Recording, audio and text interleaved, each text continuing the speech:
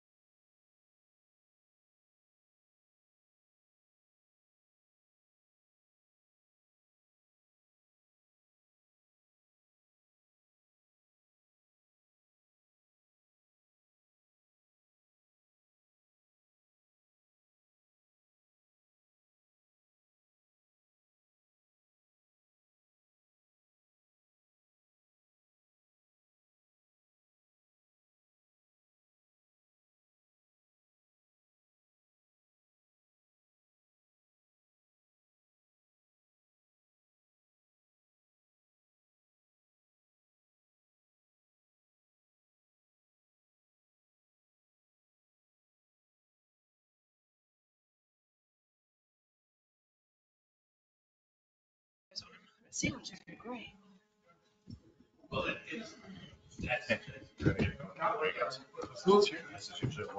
Did you, did you, did you authorize the sandwiches? Thank you. Hey, What, uh, what kind of sandwiches we talking about? They're good too. I don't, can't really have it right now. can I? Just have to start. Clerk, please start the recording. Today is Wednesday, June 14th, 2023, and I'd like to call today's work session to order. Tonight, we have Burke presenting.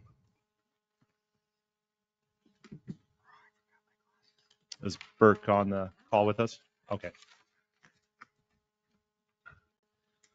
Please welcome Catherine Goetz. Hopefully I didn't butcher that, Catherine.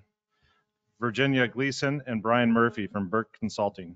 They will be presenting virtually the Ridgefield Police Services Study this evening.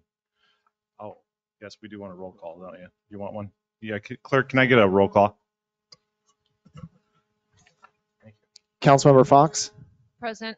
Councilmember Kasberg, Here, but I left my Councilmember- glasses in the car, so I gotta go grab them. Uh, present. Councilmember Cerveny, She's just running a few minutes late. Mayor Strobin. Present.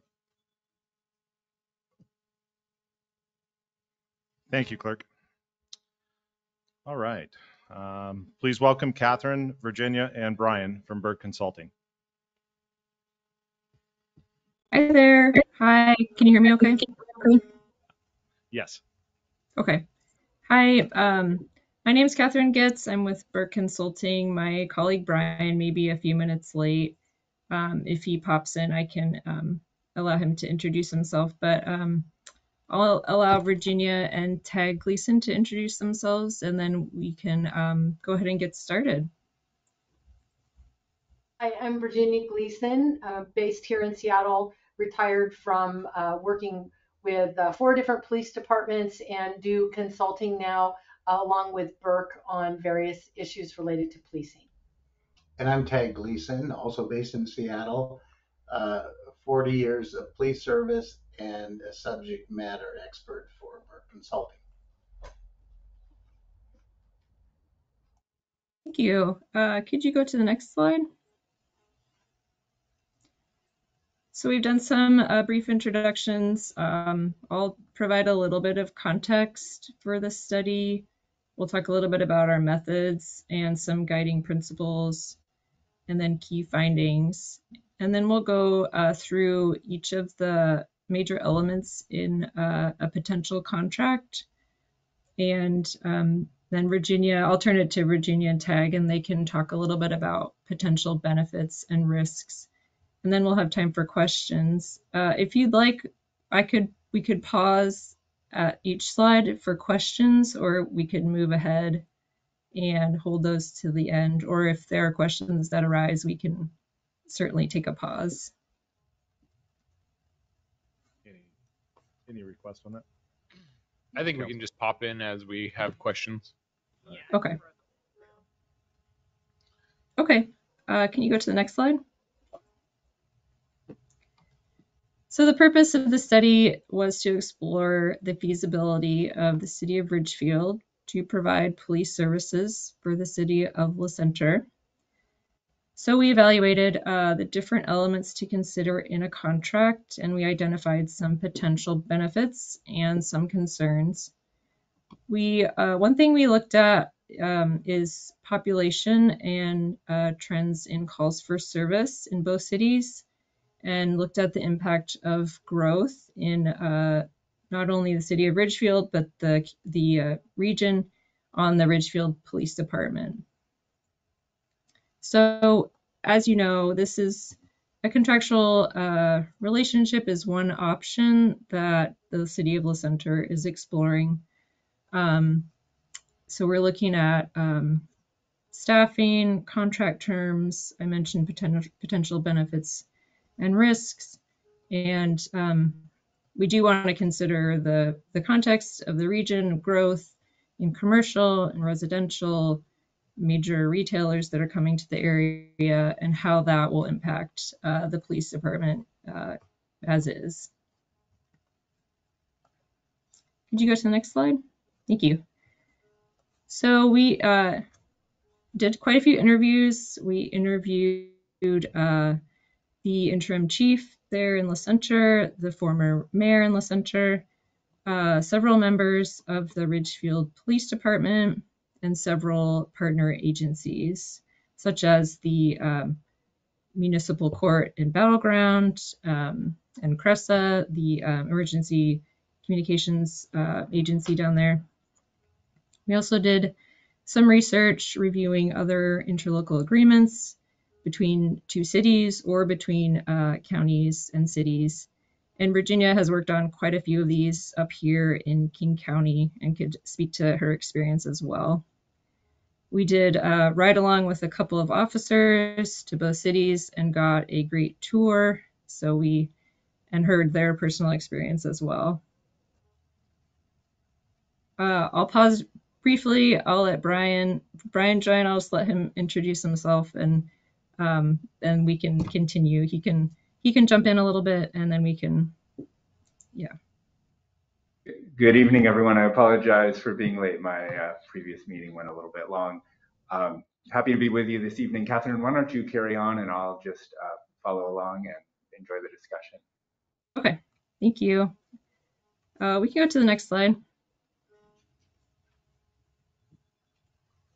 these are uh, the guiding principles that we are incorporating, that we did incorporate Sorry. in our, yeah.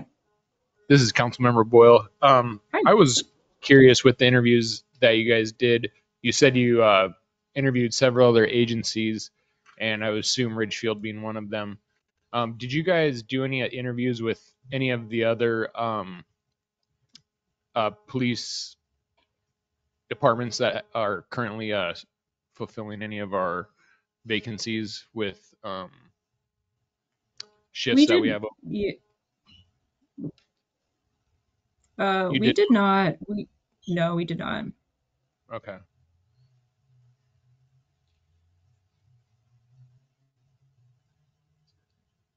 Thank you.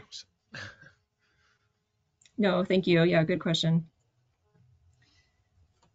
Um, so these are some principles that based on our interviews and based on our um, input from the Ridgefield Police Department and folks in La Center, that we work to incorporate in our analysis and our report. Uh, the first is that officers working in the center would be Ridgefield Police Department employees and supervised by the Ridgefield Police Chief. Uh, the city of Ridgefield would uh, coordinate all messaging and communications as a part of uh, that organization. Ridgefield Police Department would provide a uniform level of service across, across both cities. It would essentially extend its level of service to the center, not provide a different level. And as in any contractual relationship, uh, shared expectations and processes for communication would be really important to establish and you know provide a basis for success. Could you explain a little bit further about what the messaging uh, would be? I think the point there is that this this point in general is important to the city of Ridgefield and the city manager that they speak with one voice, they they have coordinated messaging, and just reflecting that uh, as one department in that city, that it would be part of that kind of overall city of Ridgefield um, messaging. Does that make does that help? Well, are you talking like PIO uh, type of of issues where there's media context to it, or are we talking about a broader scale of mission vision statements? I think this relates more to public information, as you mentioned, like a PIO type function that that would be coordinated, you know, along with other departments in the city. Um, just that it would be, you know, one one department, uh, one team, one part of the organization there, and those employees would, um, those officers that worked in the center would be part of that team.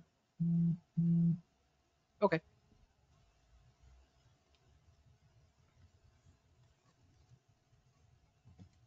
Uh, you can go to the next slide. These are some key findings based on our uh, interviews and our research and our analysis that uh, the city of Ridgefield in particular is growing rapidly uh, and will have to address uh, growing public safety needs regardless.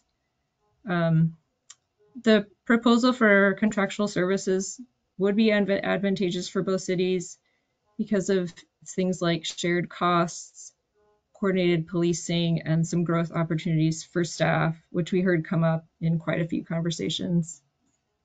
Uh, there are some concerns uh, that to be mindful of, including uh, capacity in the department um, as it grows. There's a lot of state mandates, there's a lot of processes, there's a lot of um, internal initiatives to work on. Um, staffing considerations, um, you know, they would have to hire up, they'd have to add staff, and that takes time. And some uh, systems limitations, um, I think it would be to uh, work out a process to make sure that they can collect data and track it and you know have that data available so that uh, it would be reflective of calls in each community and it would you know provide good reports for the city of La Center.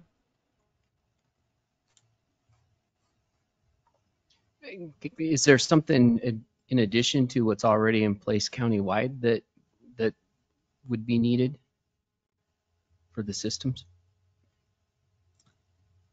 Uh, Virginia, do you want to, could you talk a little bit about this?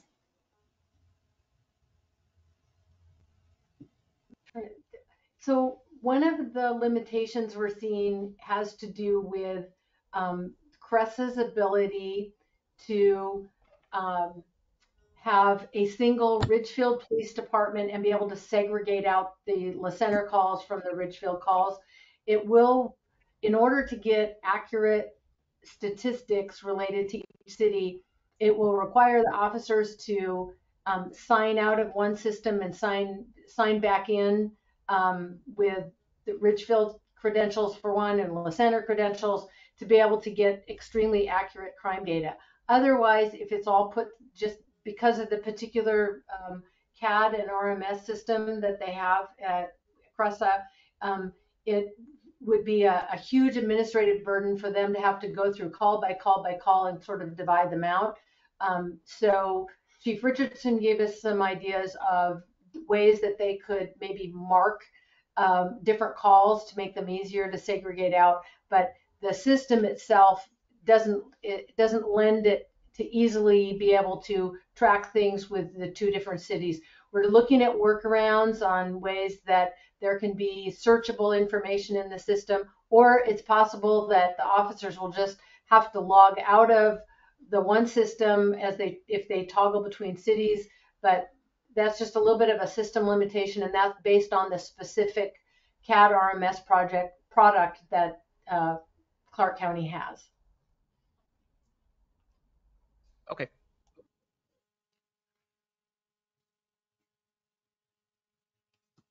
Okay, you can, oh, you can go ahead.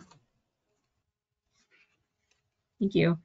So these next uh, slides will just touch on the different uh, elements in a contract and have a few thoughts on each of those. So this one is about the service delivery model. And I mentioned a little bit earlier that um, in, in this model, Ridgefield Police Department would extend its service level to the center.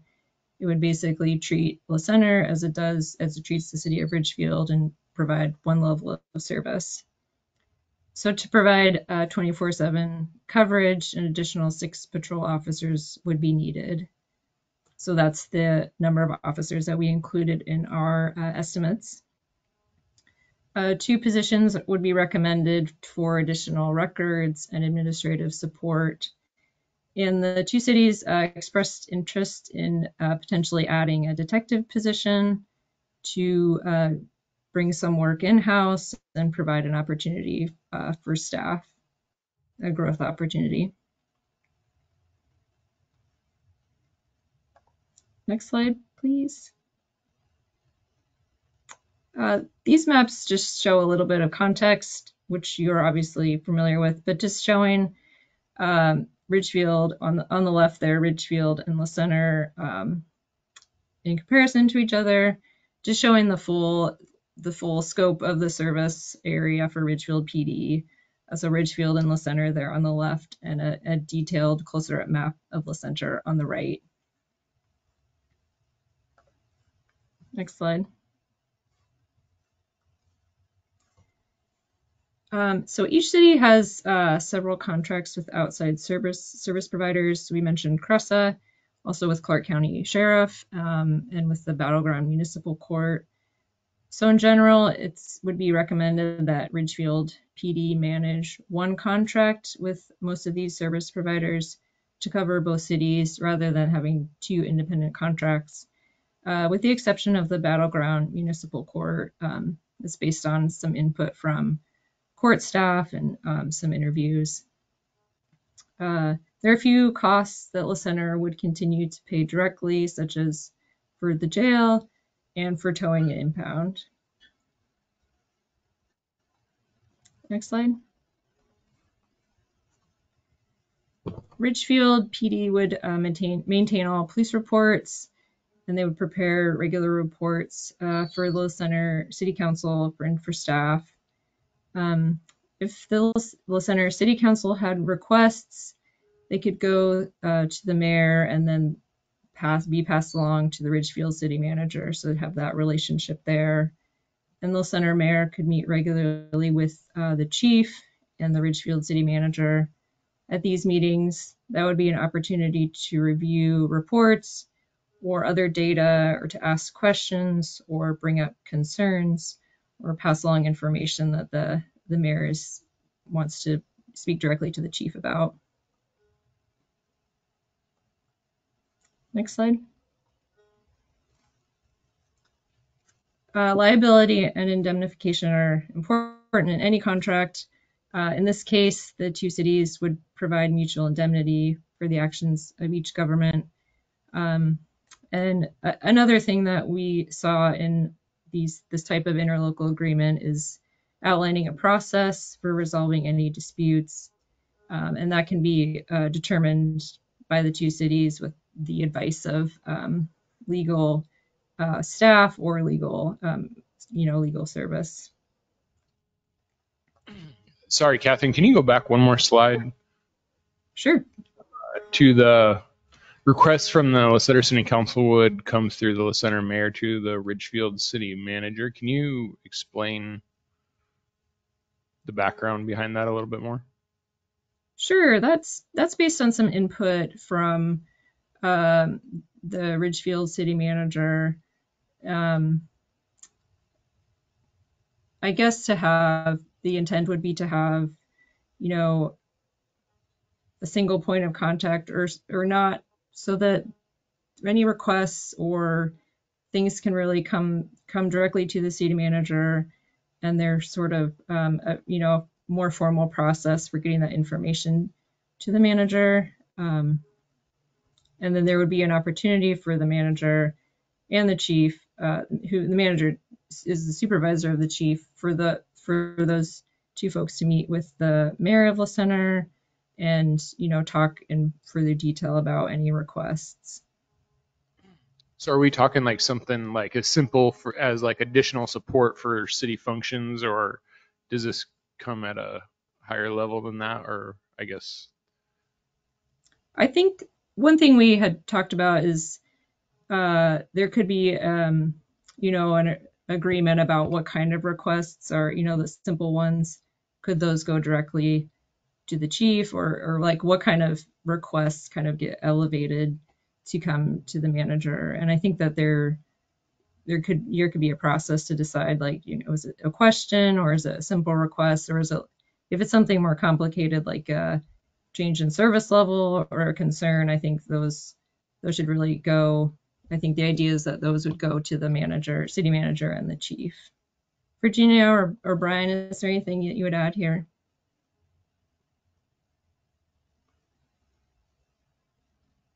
Well, I certainly agree that Um, I this should be, oh, no, go ahead.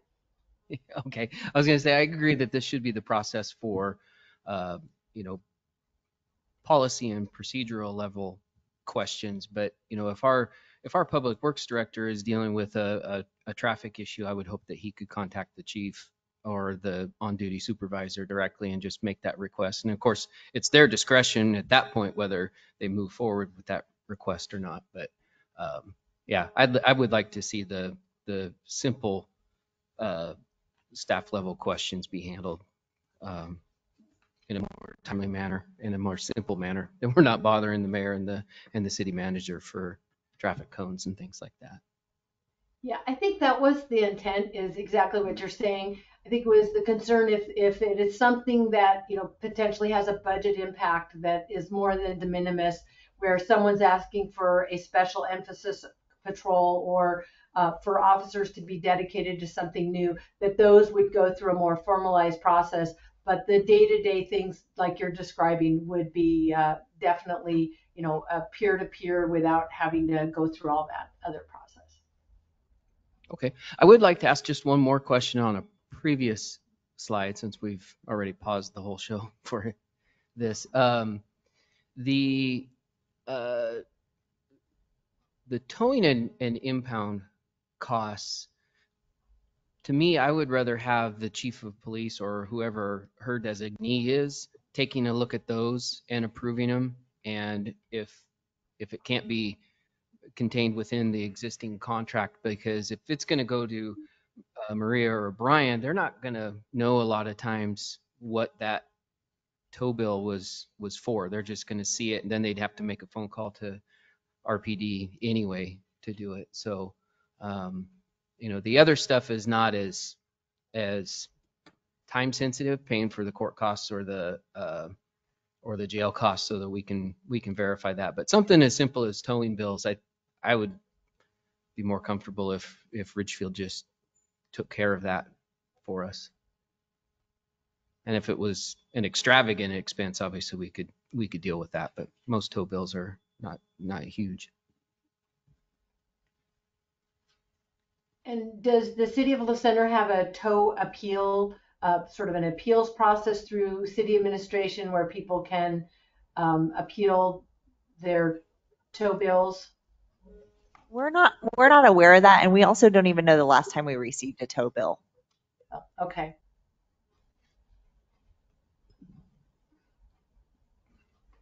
We can, we can definitely follow up on the, the towing and impound costs.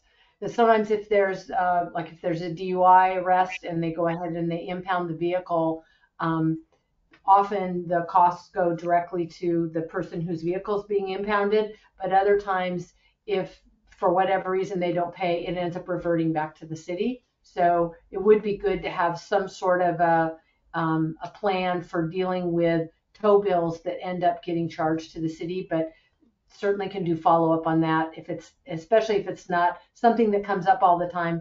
Um, I don't think probably is a, you know, a major deal breaker to any sort of agreement, but we'll follow up.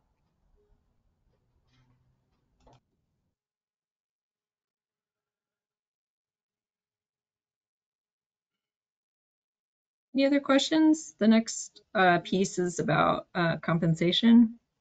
We can move ahead to that. So we have a few slides here with some uh, details on what this could look like and some charts and some numbers. Um, but to estimate what La Center would pay in a contractual relationship, we looked at two options for uh, sharing costs. And the estimates based on these two options turned out to be pretty similar.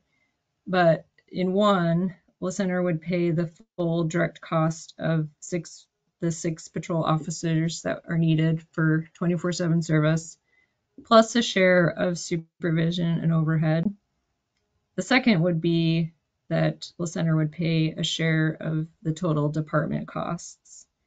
Um, so in either scenario, La Center would pay for patrol staff, their vehicles and equipment, and then a share of supervisory and support personnel, supplies and services, um, facility, space, and contracted services.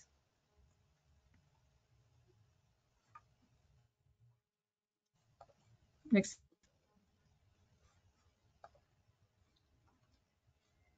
So this chart on the right here is, is providing a comparison for the estimated cost of a fully staffed uh, police department in La Center, and that's the solid line. And that's compared to the um, estimated cost of contractual service, which is represented by these two um, dotted lines, which are the two different uh, cost sharing options, which you can see are pretty similar. Um, over time, either option would provide a savings for La Center compared to the cost of its own department. And that really is based on a few things. Um, shared supervision, there would be one chief instead of two. Uh, there would be a shared lieutenant and shared uh, supervision from sergeants, um, shared support staff, um, shared facility space, and shared uh, contractual services. Um, you can see that here, year one is higher, and that includes some one-time vehicle and equipment purchases. Um, these may not happen all right away. This cost may actually, you know, be spread depending on when, um, on the timing of hiring and when hiring happens. Uh, can you go to the next slide? Uh, this is a similar look um, at cost estimates for um, the Ridgefield Police Department. Again, that solid line is showing um, the status quo, assuming that they do grow to address, um, you know, an assumed, assumed growing need because the, the city's growing. Um, and then the, the dotted lines are showing the share for Ridgefield PD were it to be in a contractual relationship. It, so it does provide, we estimate it provides a financial benefit for Ridgefield as well compared to um, the status quo.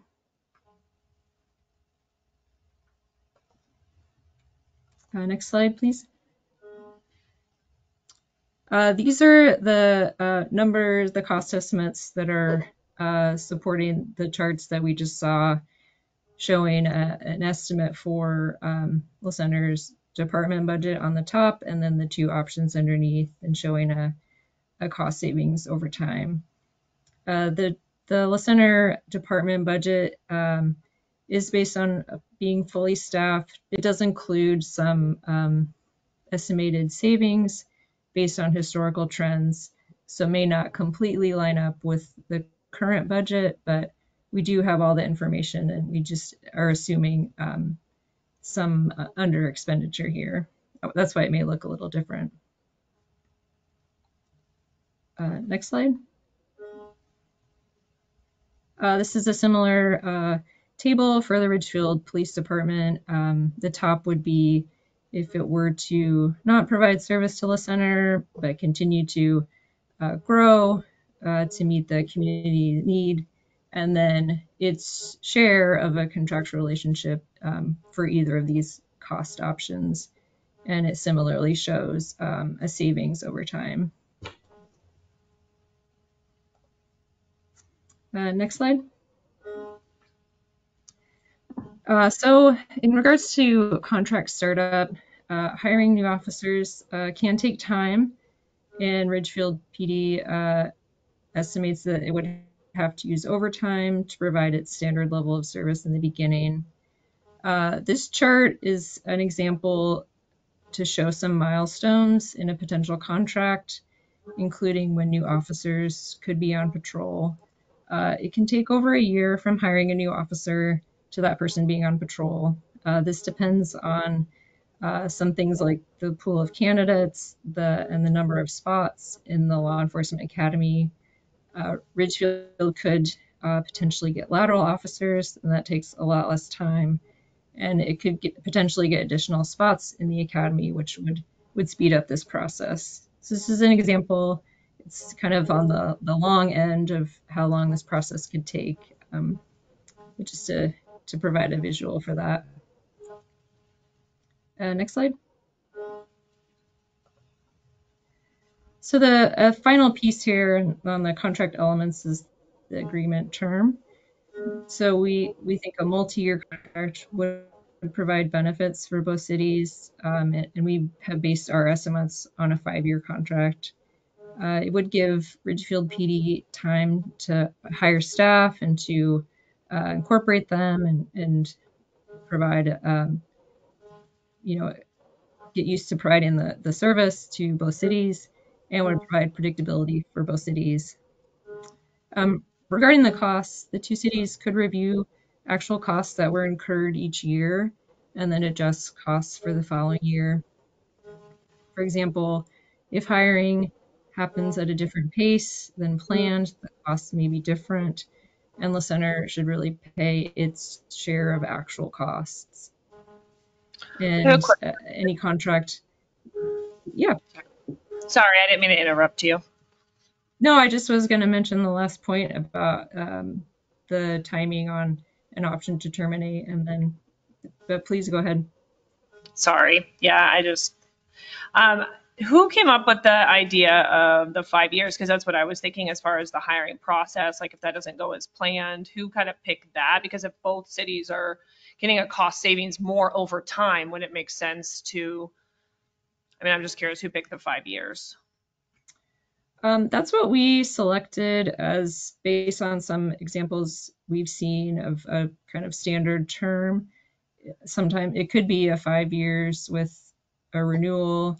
It could be, you know, different periods with either an automatic renewal or, or a time for renewal. Um, but that was what we um, assumed. Okay.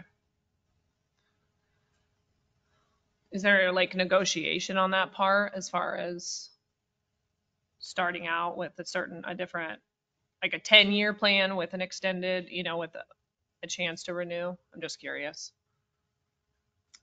I think so. Do you recall, Brian or Virginia? I think I, I don't think I think this is um, uh, you know an element to to discuss for sure.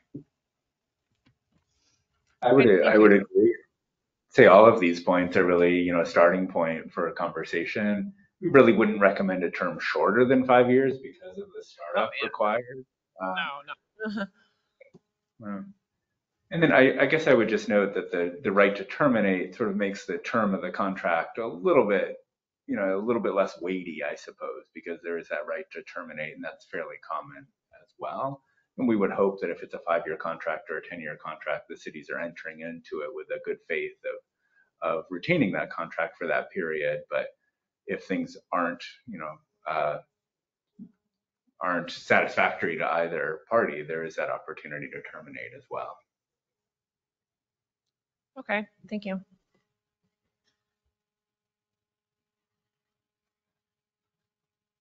You go to the next slide.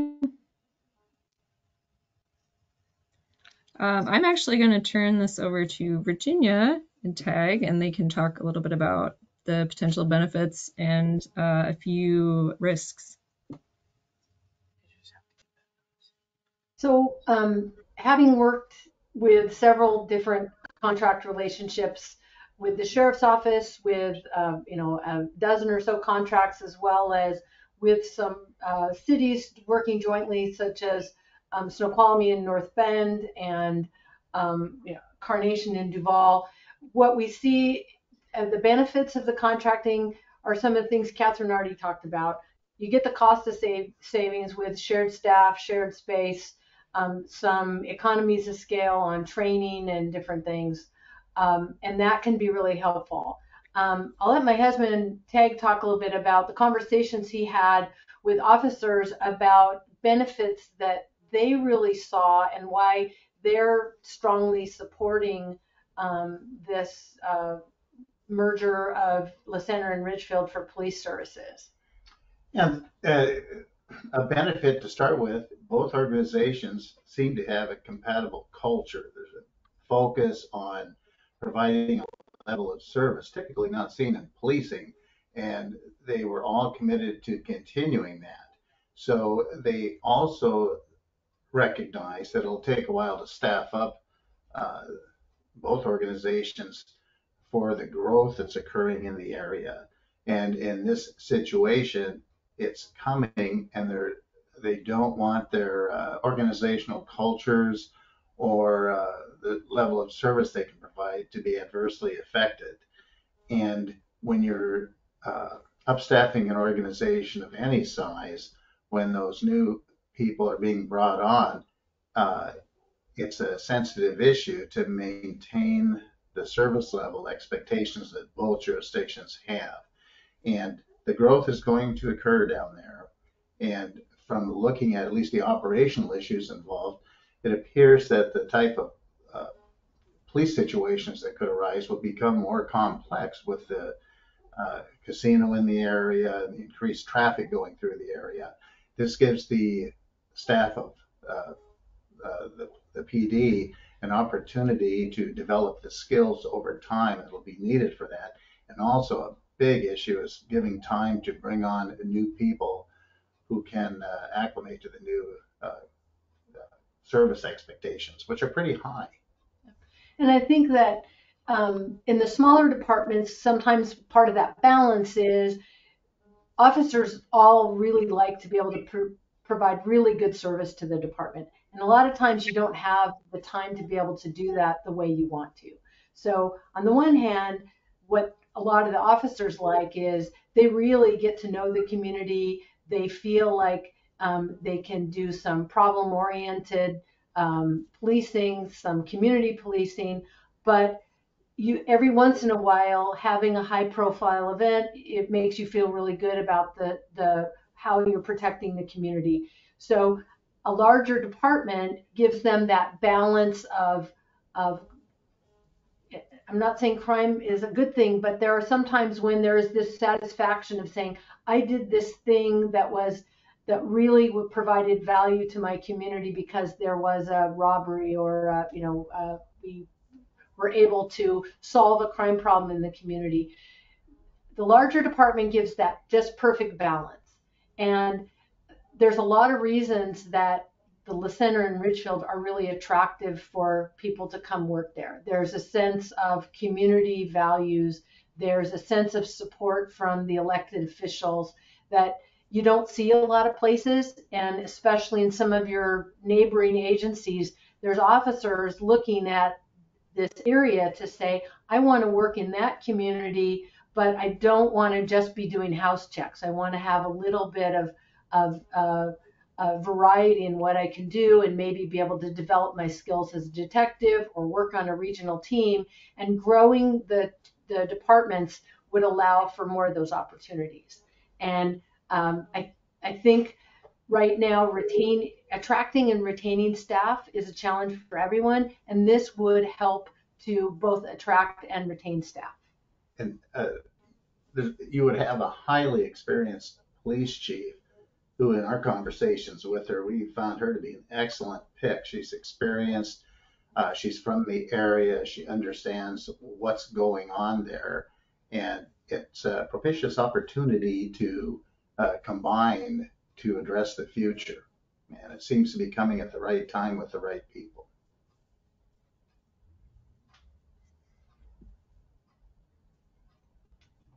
Um, one of the other things is, you know, having used a lot of um, kind of patchwork resources to provide um, service to the city of La Center as, you know, things have happened over the last couple of years. Um, with some of the new requirements that are out about having some standardization for things like initiating stops, um, using force, investigating um, uh, uses of force, it can be valuable to have a unified command over the people who are providing backup. So when you have that patchwork of people, sometimes at a at an event that that might unfortunately require um, some kind of force be used, or you know, if unfortunately there was an officer-involved shooting, if you don't have people whose policies are uniform across the board, um, there's going to be some question about how that was managed and how that will be reviewed. There's a lot more um, standardization uh, if you have one department with a unified command providing backup to both. Plus, people will know the cities more, and if there are unique things going on, whether it's areas that have enhanced crime or um, a certain way that they are approaching their problem related policing in the area, it's really valuable to have these two departments or two cities under unified command providing backup to each other. And politically, from a risk management perspective, uh, the uniformity and consistency will be helpful because often uh, plaintiffs will want to include both jurisdictions in any kind of action, but they'll also uh, try to point out disparities in policies, uh, staffing, training to demonstrate uh, what's what uh, perspective is more favorable for that case. And here you'd have the uniformity to say this is just the way business is done. So, good risk management practice. So any questions about the benefits? I have a question about more about back to kind of the contract term and the ability to terminate it within like six to 12 months. How does that look? Or how, I don't have any clue what police contracts look like. So that's why I'm asking. When that happens, let's say that was to happen, does one side, the person, whoever, basically La Center in this case, do we get to you have now you have these six extra officers and let's say over after this time period or after so much time maybe three four extra officers now you guys maybe can't afford that and maybe we need to have some and maybe we can afford to keep some. Do we get to have some of those officers kind of come over to la center at that point so that we're not going from zero you know from great coverage to now nothing? I mean how does that kind of look for a transition from because obviously yeah, five years to me doesn't seem like that long, but also if you're gonna, if we have this in the contract, then that, it doesn't really matter how long the contract is, if anybody can terminate it within that short amount of time. So what does that mean for La Center and how can we make sure that we're still covered after that? So there's a couple different ways that you can manage employees who, if there's a downsizing. So there's um, there's sort of these tiers of personnel rules. So one is the civil service rules. So state civil service rules have a process for governing when uh, a department downsizes and where those people would go. Um, and unfortunately, way back in the days when we had to lay off police officers in the past. Um, I had to go through this. And so um, there is a way where if the city said we have too many and we're choosing not to keep them, um, the, the jurisdiction that previously had contracted with them, they are offered there first. Um, so that's one way. There's also, it'll depend, the next overlay is what might be in a labor contract. Um, almost always the, if there are layoffs, they're going to be done in um, order of seniority um, and not seniority number of years worked, but actually number of years worked in that department. So um, there, there, there's a whole way to manage uh, excess employees in the event there's a contract termination. Okay, thank you. I could chime in here. So, so the expectation would be that as part of the negotiations, this section would include uh, a dispute resolution process. So it wouldn't just be in a vacuum that all of a sudden there's a six-month termination, a 12-month termination. Ordinarily, there'd be an expectation that the parties would be in good faith, try to resolve. Maybe the next step would be mediation. Maybe you have arbitration. You know, there's a there's a process there, and so you usually see short-term um, uh, termination clauses where there's the potential for uh, going into the contract that there's going to be some conflict. What I'm hearing here is that there's this expectation that the communities are coming into this in good faith, trying to resolve this potential issue. And so um, your question is a good one in the sense that a short-term terminate, termination does have significant impacts. You've already budgeted, for example, Right. for the next Right. year. And so ordinarily, again, I recognize this is part of the negotiations. I may or may not be part of that, but um, ordinarily you'd see something like this have a kind of a longer term, like more of a 12 month termination. I think that Well, and li- that's, yeah. lends itself, I think, what you're asking about, because there are some other implications and, you- and the individual brought up, you know, contract impacts with your union negotiations, for example. So again, those are subject to negotiation, but those are good questions. But again, it's a, pr- it's a process. Sure, sure. I was just curious, yeah, how that looks, because just seems awfully quick, like, not short notice. And like I said, I mean, to my knowledge, the cost of this is not, it's gonna cost us the majority of our police budget. It's not like we have all this extra, we're just sitting over here saving, saving for that cold rainy day when we have to, you know, maybe pull up our own officers out of a hat, you know? So it's like, we have to just be careful with that money and making sure that, yeah, we still have service and, yeah, it makes sense. That would be part of that. So, thanks. So, for example, when the city of North Bend decided to terminate their contract with King County, um, it, they discussed it for two or three years before they actually gave the notice to say, we are going to, uh, and again, it was all in good faith. There was discussions about, you know, you are doing certain things and your capacity doesn't meet our needs anymore. And um, we think we want to do something different. But there was there was years of discussion before they finally said we want to um, uh, ring the bell that now this this uh, termination period begins and gave everyone uh, you know plenty of time to plan and to take appropriate measures to make sure their city was still protected. Okay, yeah, that makes sense. Thank you. I would hope that it would go that way. I mean, I, yeah, that makes sense.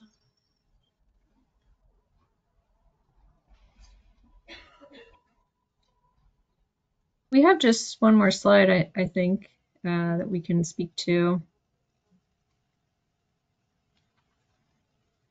So this is the slide that's not so much fun as the potential benefits.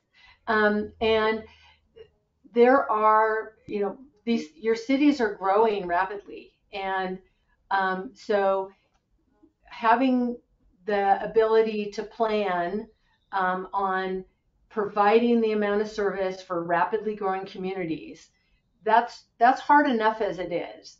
But then there is a lot going on in policing right now. There's a lot going on with the state, with the Attorney General's office, and with some of the expectations that I'd say primarily are coming out of Olympia. Sometimes they come out of county councils, but right now they're primarily coming from the state, where they are adding layers of reporting requirements and training requirements onto individual departments that uh, in some some cases could be straining ability to pros- provide service. So, for example, one of the the items under discussion is if they're going to mandate that um, all officers wear body cameras.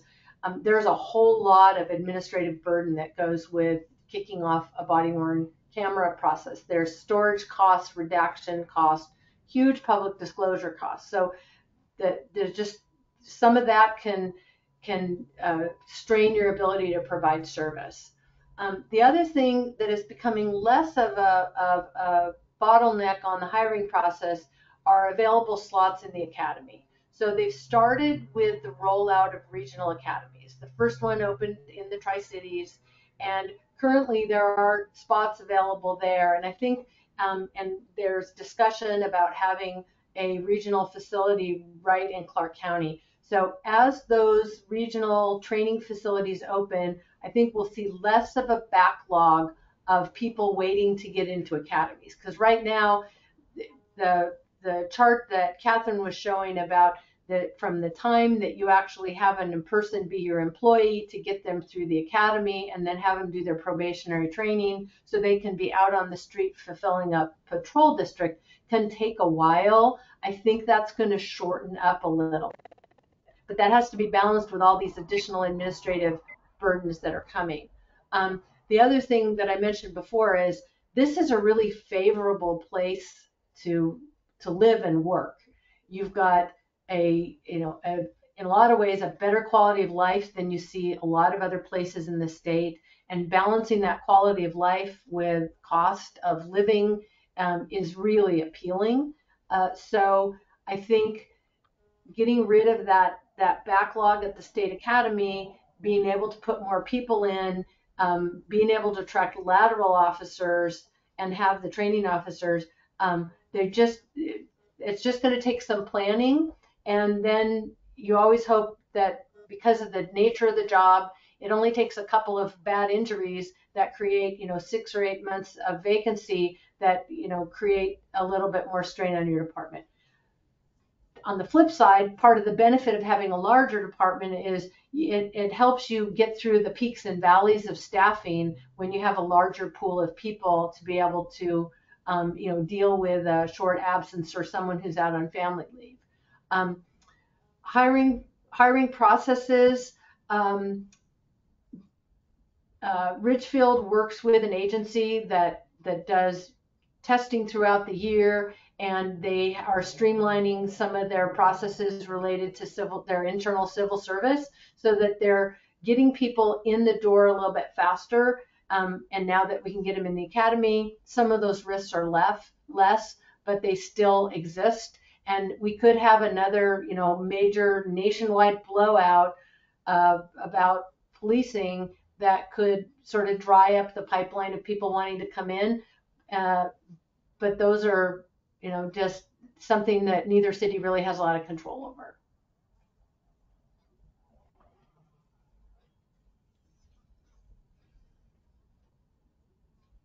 Um, and then the, the last thing just about the data, the particular CAD RMS system that CRESA uses, uh, it's called EIS.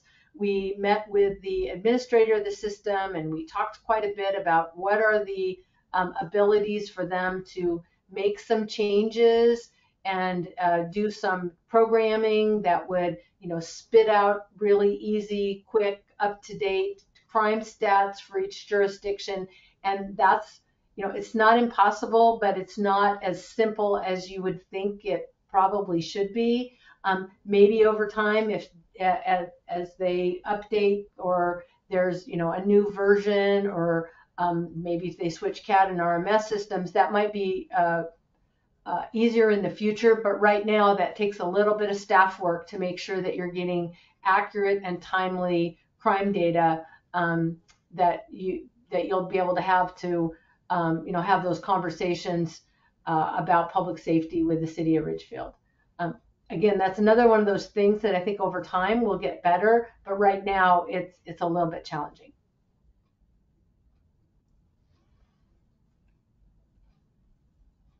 Reports. I guess I question how re- the reporting cannot be pulled by zip code. Well, um, there are some ways you can pull the reports. And so sometimes you'll have zip code and CAD data. They tend to work on uh, a different geographic, uh, so each call might not have a zip code associated with it. So if someone is calling in from a cell phone and they're talking about something that's happening at a particular address, there may not be um, a zip code that is associated with that address that pulls up in the the way that the PSAP, the Public Safety Answering Point works. There could be other ways of looking at that and maybe spending some additional time to actually extract that data and you know put it in a GIS overlay that would allow you to do some things. Um, but that's not currently a capability the system has. So sometimes what they'll do is they they'll have other ways that they've drawn it out other than zip codes. Um, it, but it's not going to be by patrol district and it may not also meet your exact city boundaries. So city boundaries, zip codes, census codes, they don't always match with um, what your uh, city boundaries are. But La Center address would be easy enough to uh, identify versus a Ridgefield address. Provided the name of the city is in the caller or, um, and if you're ever interested, I can sort of show you what a CAD printout looks like. It may not, um, it may not, may not have the city name in there. So there are some systems that actually allow you to use GPS coordinates to be able to pinpoint areas. And then, like I say, then you overlay them on a city map, um, and then you could, you can actually use a like a stylus and draw and say, here's everything that happened in that area. That's not a capability that currently is available in Clark County. Um, so um, we can show some examples about uh, sort of what that raw data is and what is retrievable out of that. Now, once you actually do a crime report and you can do some word searching uh, in the address field, you would be able to do that. But that'd be a little bit of a manual process, but it's definitely doable. Thank you.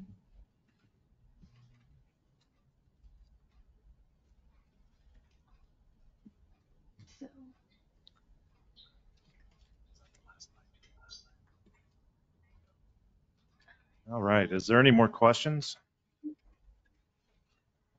Comments? Yeah, I do have just one more question. Um, I understand that this is a, a high-level overview of the of the potential for a contract, but was there any thought or any discussion on what the minimum staffing levels would be for um, both jurisdictions? I'm, I'm assuming that Ridgefield has a minimum staffing level for within their city. Um, was there any look at what that would look like, you know, even once they became fully staffed and we were well into the contract?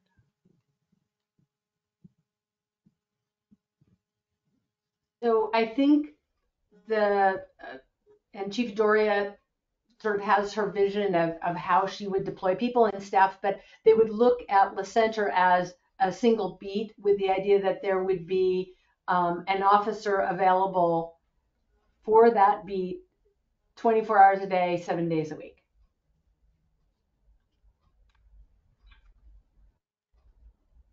Okay, thank you.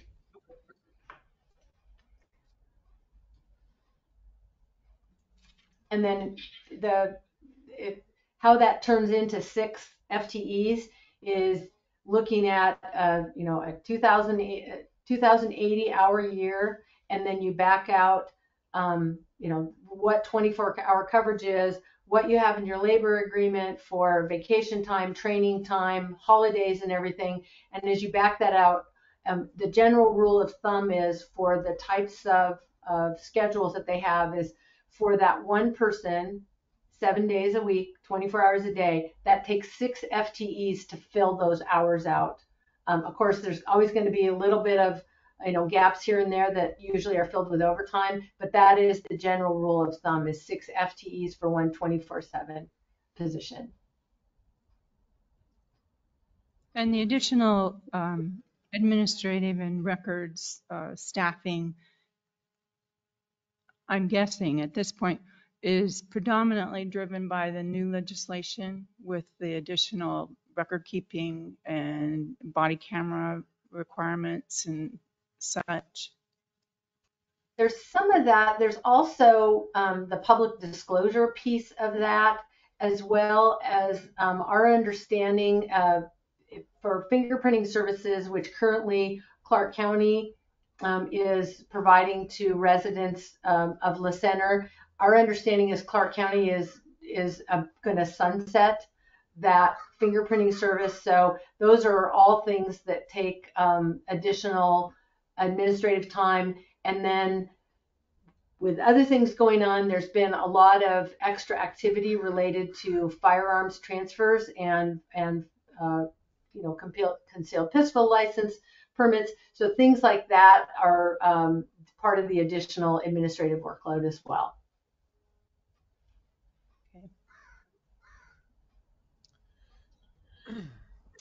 Um, this is Councilmember Boyle. I just want to say thank you guys again for your presentation. But um, one more question, uh, just as an overview, um, within the things that we control, um, in your professional opinion, would you say that the benefits are greater than the risks overall between the two cities combining? I, I think so. I think um, there's a certain quality of life in those two cities that you don't see very many places. And I think how combining these departments helps both cities keep that that public safety resource um, for the quality of life.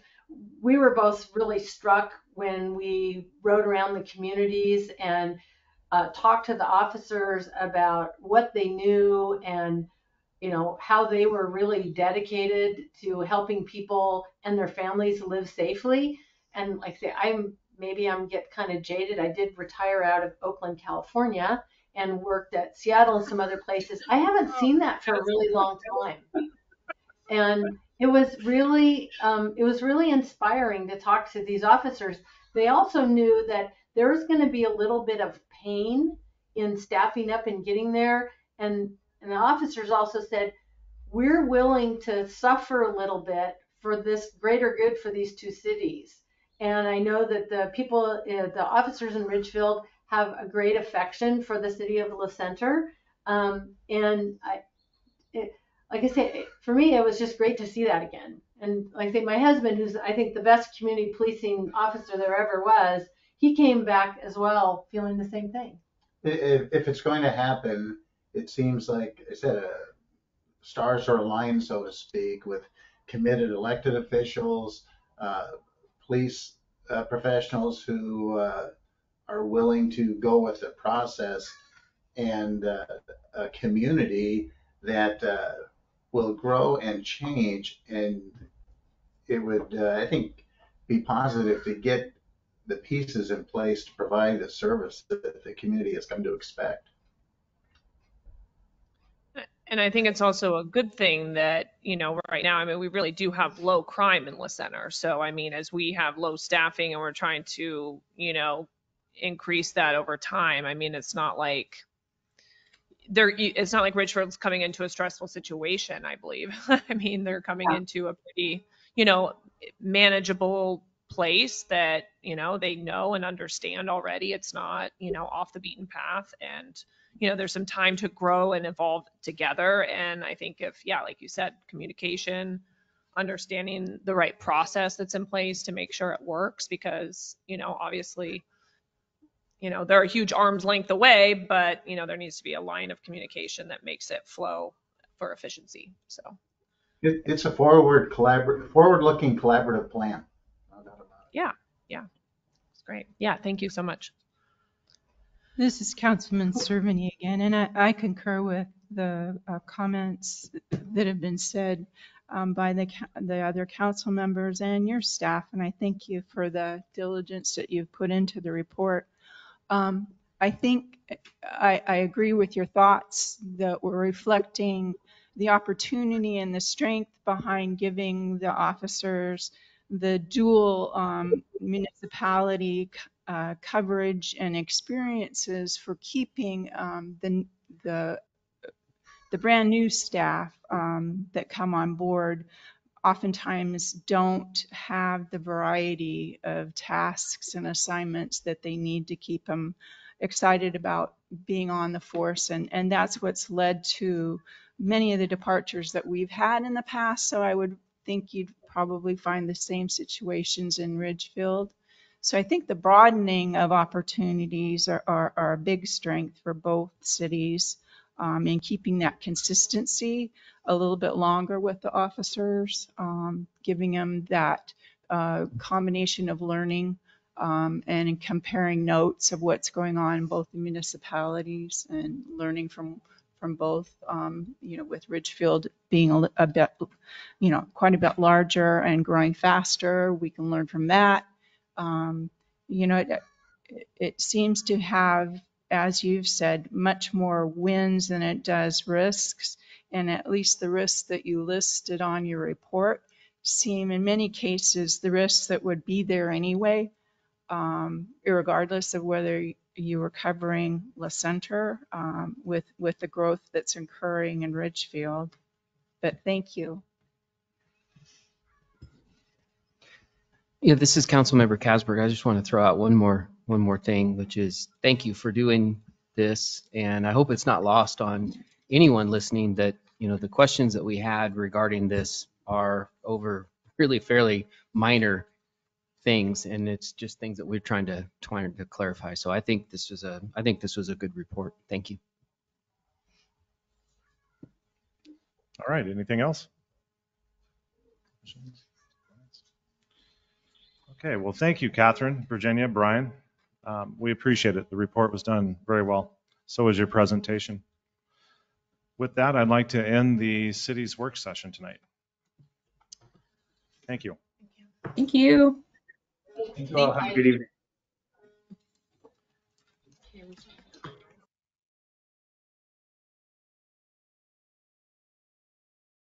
This conference will now be recorded.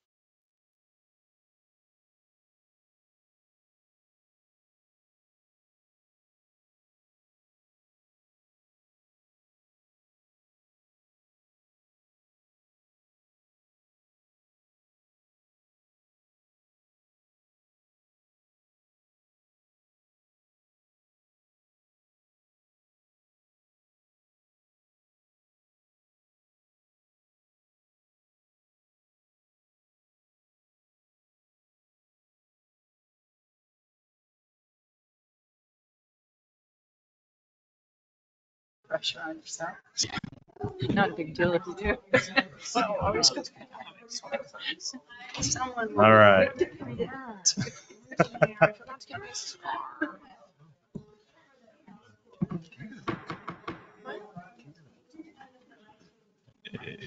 All right, clerk, please start the recording.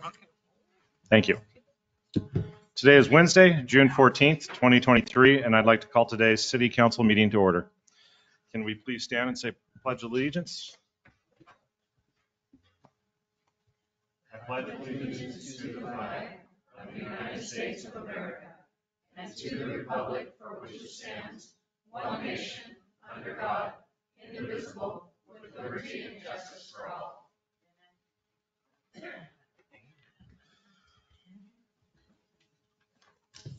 All right. Clerk, may I please have a roll call? Councilmember Fox, Present. Councilmember Kasberg, Here? Councilmember Boyle, Here. Councilmember Strobin, or Councilmember Cerveny, Present. Mayor Strobin. Present. All right. Clerk, please call up any public comments from the audience.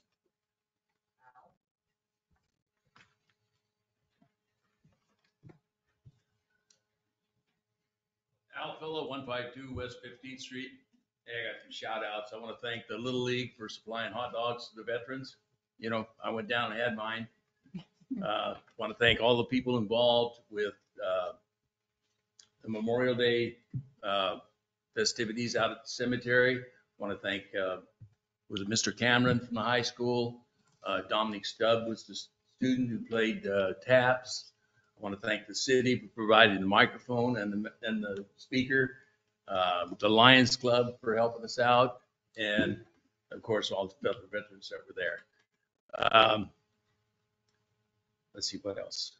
This is all off the top of my head, so you wouldn't know that normally. But, uh, yeah, they had, we had, we had the Pride weekend on the Sunday out there, went up there, there was people having fun. Don't have any problem with that, you know. Uh, last week, what was it, the Center United had their forum, eh, you know, whatever you want to call it. And must have, I was expecting to be, you know, pretty fun, but it was kind of boring. And I had to leave early. So all I can assume is they, they've solved all the pronoun stuff and everything else because there was nobody up there complaining about it. And so, uh, yeah, I know. and, uh, oh, and then Sunday, you notice there was a garage sale down at the old bank building, which is going to be a, a coffee place. If you'd have stopped in there, how many people stopped in there? Raise your hand. Stopped in. You'd have got a free cup of coffee. You'd have got a cookie. and if you were charming, you might have even got a free hat. Really? You know, so the next time you drive by something like that, you might want to just pull in because you never know what bling they're going to be giving out. You know, and that's Rivers Edge Coffee Cup. God bless America. Thank you, Al. Jim Irish.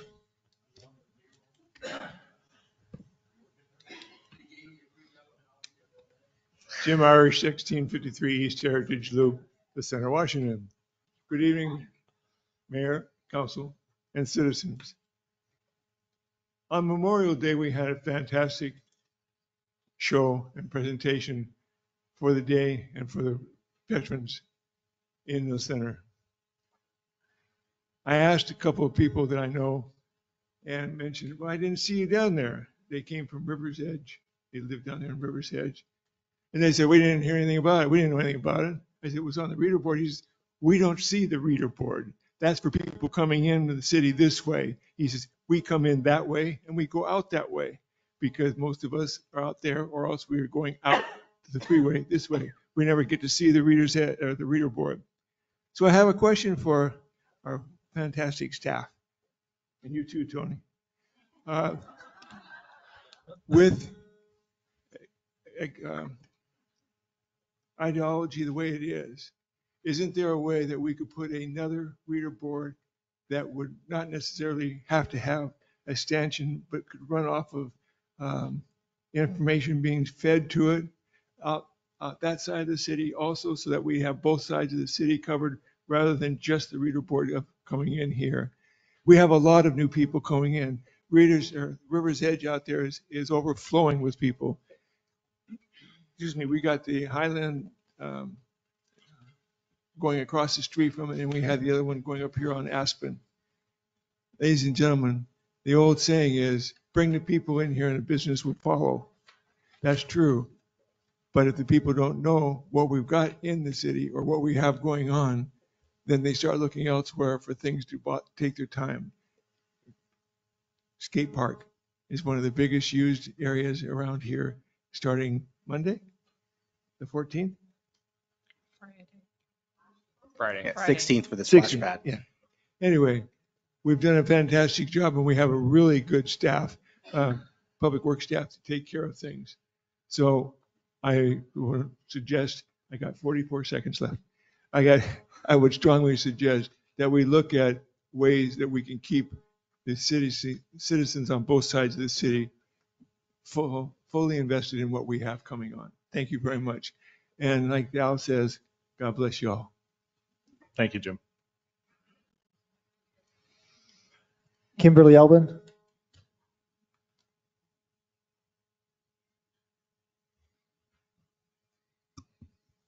Good evening. I just got off a fishing boat. Yes, the big one got away, but I did, we got four of them. Um, so, Kimberly, can you state your name for the record? oh please? yes, thank you.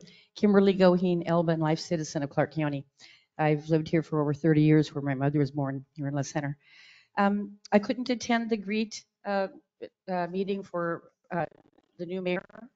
And I'm sorry about that. However, I hope that there will be, uh, town halls monthly, if not gatherings for the citizens to unite here in La Center. I think that's going to be a great time, um, especially with, you know, time passing. Um, I actually would like to see no growth, no more growth. Uh, it actually put me in a, a big uh, depression about 30 years ago, and that's okay. Somebody put their roof up and took away my sunrise. That's just a personal thing. But, you know, I, I realize people have to live somewhere and all that. I get that. But I am against, uh, I speak at Clark County Council. They are going to be putting uh, sky rises, houses, uh, the low income housing there by the Clark County Fairgrounds. I'm totally against that. Uh, we need to keep, keep Clark County as a country setting. And you can't do that with those uh, homes going up that'll probably be also uh, mandated to uh, house illegal immigrants. So God is always good. Uh, Speaking about the reader board, the group called the La Center United is a great group with wonderful intentions, yet it is funded and staffed by at, uh, and possibly with agendas, obviously by the reader board, that they advertise the, um, the movement that is happening right now. I really resented it. Um, I called up and said, well, let's have a heterosexual uh, sign that goes up along with it. I mean, otherwise I'm discriminated against. I mean, it's not a joke.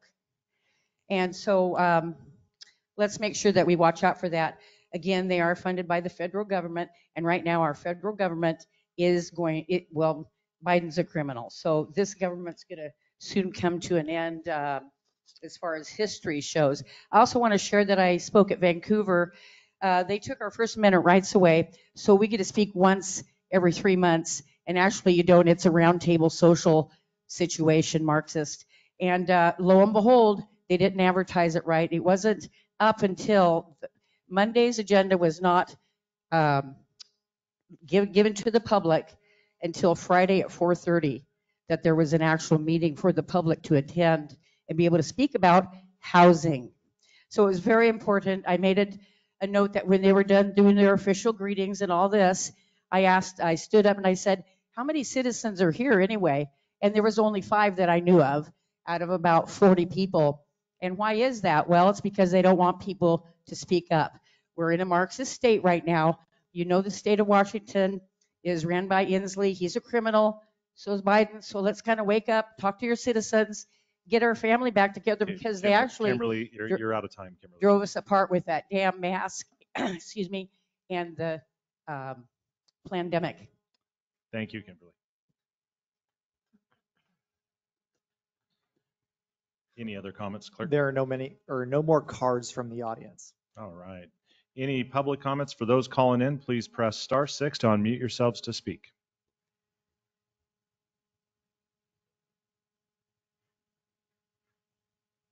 Do we have any online? We have four. If you'd like to make a public comment, please press star six to unmute yourselves. State your name. All right, moving on. Clerk, are there any public comments to be read? There are none. That moves us on to the consent agenda. If there are no requests for any items to be removed, may I have a motion to approve the consent agenda? So moved. Second. All those in favor? Aye. Aye. Aye. Opposed? Abstained? Motion passes. Thank you, council.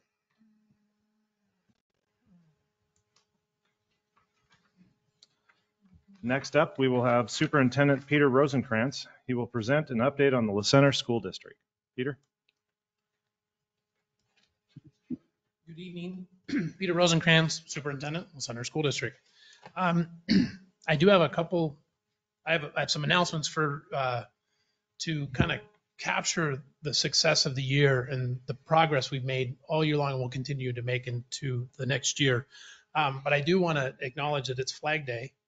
Um, So I'm surprised no one else noticed it was Flag Day mentioned it, but I don't know. The flags were on the bridge, by. I appreciate that. I love those out there. Um, and uh, so we had several members of the audience, and I know folks um, around our community that it, because we have an amazing event that happens every spring, which is our graduation.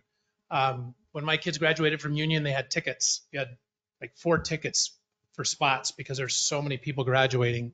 Um, we still had open seating, um, and fa- entire families can show up. Community community members can show up to celebrate with our graduates. Graduates, 98 graduates.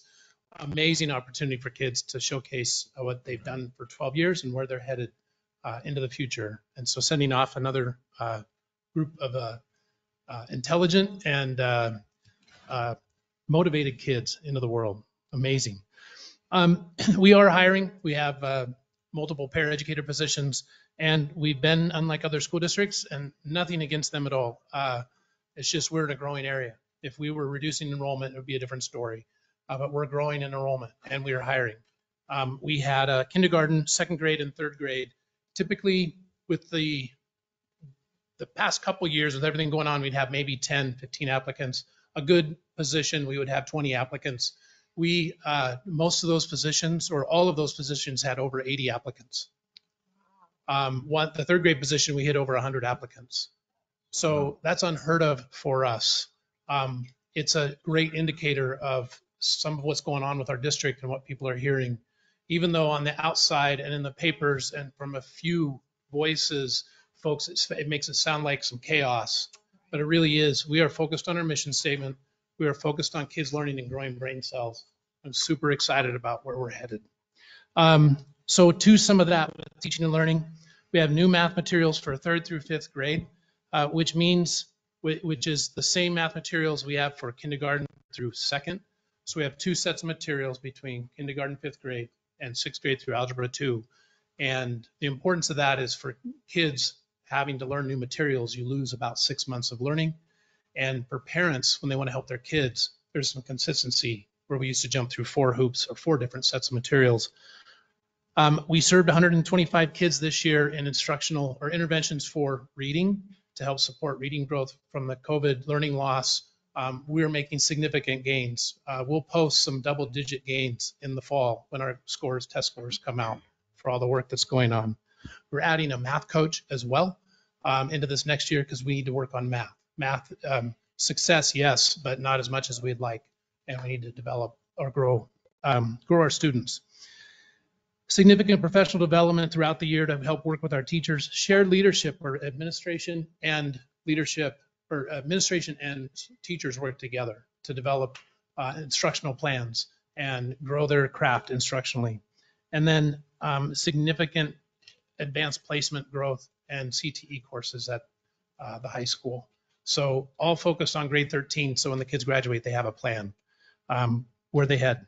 Facilities wide, we're improving, uh, continuing to improve safety this summer um, within the buildings. And then I just want to thank our partners. We have a significant number of industry partners, the City of La Center, ALNA, uh, Tribal Foundation, um, the works. We, we work to partner with anybody and everybody to help our kids have opportunities and see the opportunities out there in the world and right here in La Center, because it's a great place to raise a family, um, live, work, and play. So thank you. It's been an amazing year, and I'm looking forward to next year as well. Perfect. Go ahead. Thank you. Yeah, thank you, Peter. Thank you, Peter. All right. Next up is the mayor's report. The farmer's market will start June 22nd at 4 PM and will continue on Thursday nights through the summer. I encourage everyone to come out and support the vendors. Concerts in the Park series starts Saturday, June 24th at 5:30 PM. Harvest Gold and Marianne Fleming will be performing. Next up is the attorney's report.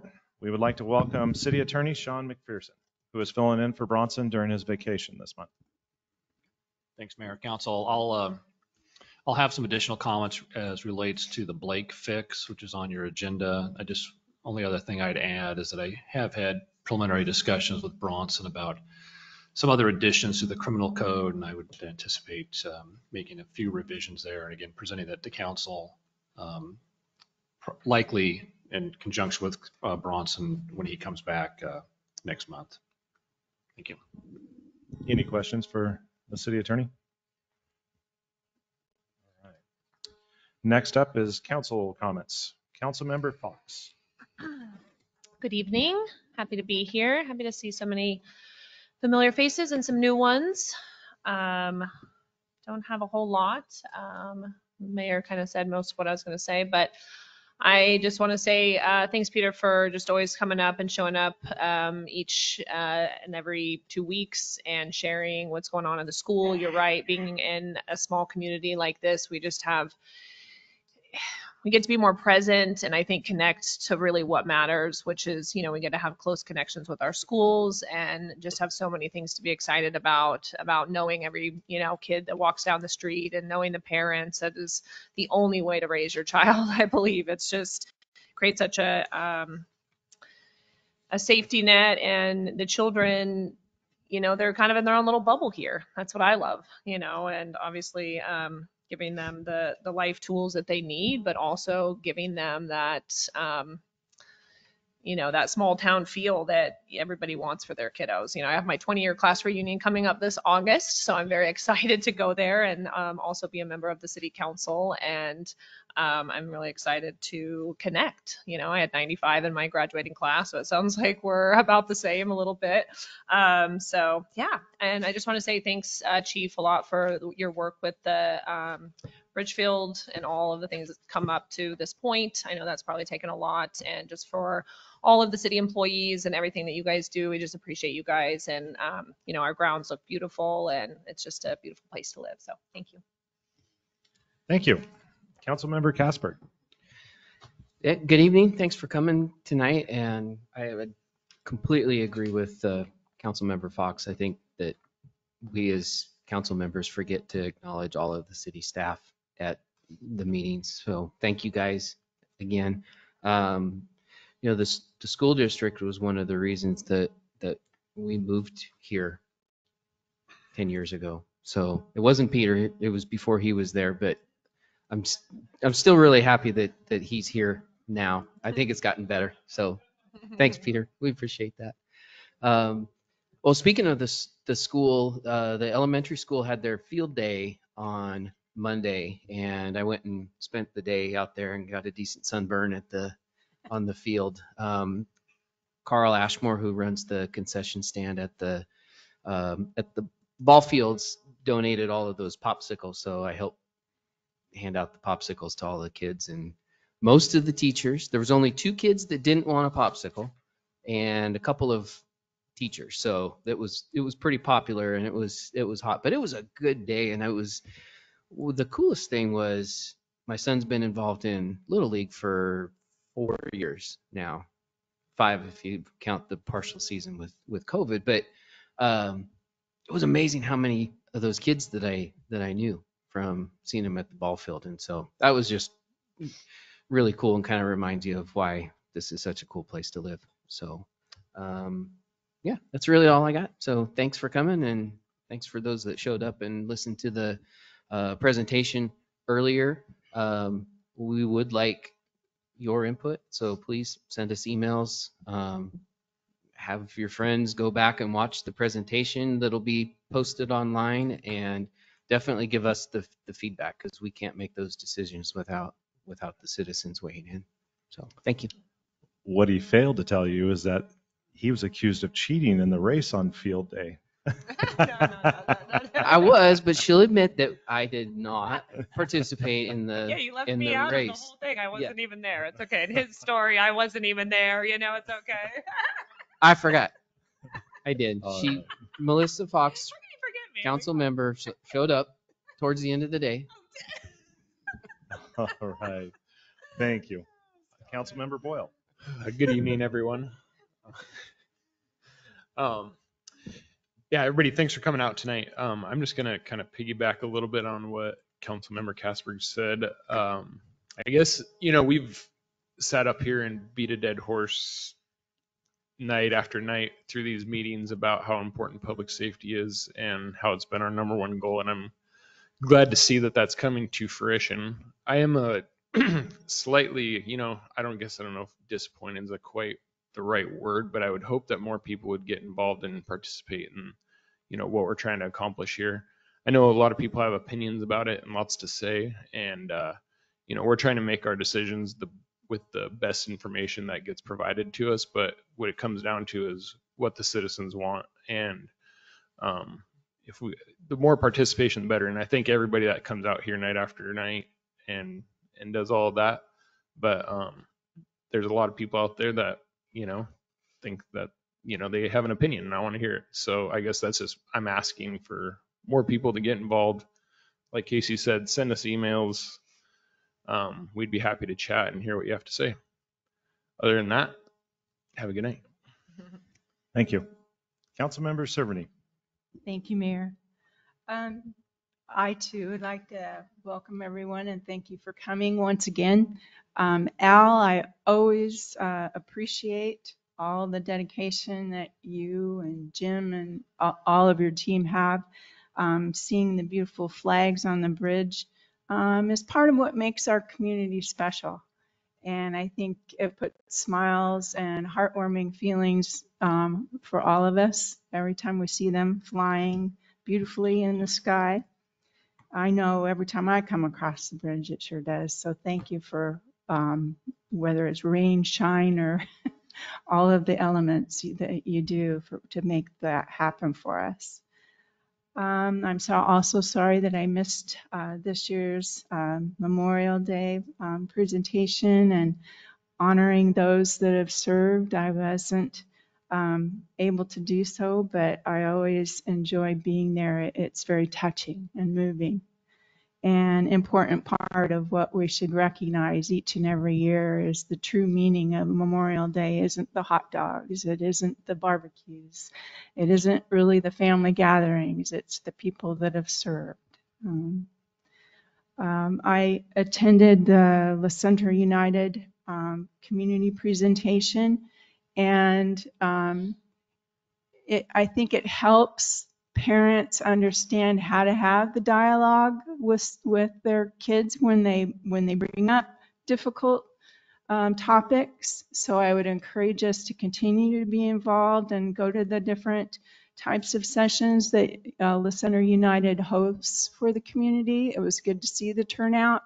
Um, and a lot of question, you know, hard questions were even asked by the attendees. Um, you know, we're traveling new roads for all of us. So learning and opening up our mindsets and being willing to help the kids in any way that we can is always beneficial uh, for keeping um, our community what it is and our kids safe and on the right path and helping them um, wherever we need to. Um, I also want to mention, in addition to the graduation, we have the celebration of the accomplishments and scholarships um, that are held every year, and that is always a real um, amazing evening to celebrate the dedication that the students have and the awards that they win from uh, throughout Clark County and beyond. And the amount of money that flows through this little community is just totally um, amazing. And we're one of the few communities, I think, throughout Clark County. Um, I don't know what the total percentage is. Perhaps Peter can say, but the number of scholarships that our kids win is very um, high. And it's because all of us um, you know, our organizations here in the community and community members and like-minded individuals and, and businesses and um, graduates alike come together to support one another and to make that um, additional schooling, whether it's vocational, technical, cosmetology, or a four-year or a doctorate degree, it doesn't matter. It shows the kids that they can try and put their minds um, to the goals that they and the passions that they have and accomplish them. So it's it's really a rewarding and heartwarming um, evening to attend. Um, and that's all. Thanks. Thank you. I did want to add one thing real quick. Um, Our turnout for the Q and A session was excellent. So I wanted to thank everyone that attended, um, especially on a night that was competing with Peter in the awards and scholarship night, which I do apologize, Peter. We, we did not see that on the calendar, so it conflicted, but we had a great turnout. Um, It lasted for quite a while. I don't even think we left until after eight. Um, And we will be doing them, Kimberly, uh, every quarter. Okay, thank you. That brings us to staff reports. Uh, Tony Cooper will present the CHIP SEAL staff report. Tony? City Council. My name is Tony Cooper. I'm the city uh, engineer for La Center. And uh, this staff report is a request uh, to award. Tony, can you 2000 pull the mic towards you a little, please? Thank you. Okay, sorry. Thanks. Um, This staff report is to uh, request award for the 2023 uh, chip seal project on Highland Road and 339th. And um, pull this down a little bit.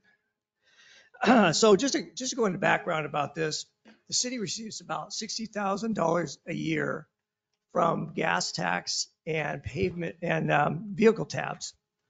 And that's an average. That's uh, over the years, that's kind of what it goes up and down.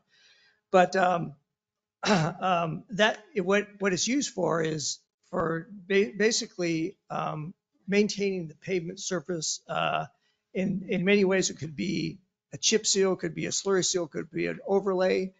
Uh, The, the uh, operations staff use this uh, fund for filling potholes, crack sealing. So there's a lot of things that it's used for. But predominantly, it's supposed to be used for pavement preservation.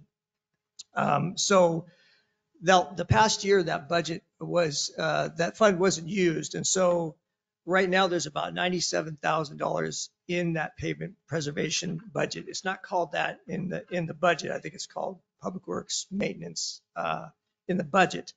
But that's, that's really what it's called. Um, So um, the city, um, city personnel evaluated the different roads in the center and tried to, tried to find the, the one that would be uh, most worthy of, of repairs. And what we found is that, uh, that, that Highland Road and 339th uh, has been, has been wearing, has surface attrition, has some cracking in it, and it, it really needs some repairs. So um, uh, city staff put together some plans and uh, bid package and advertised it in the Columbian on May 16th.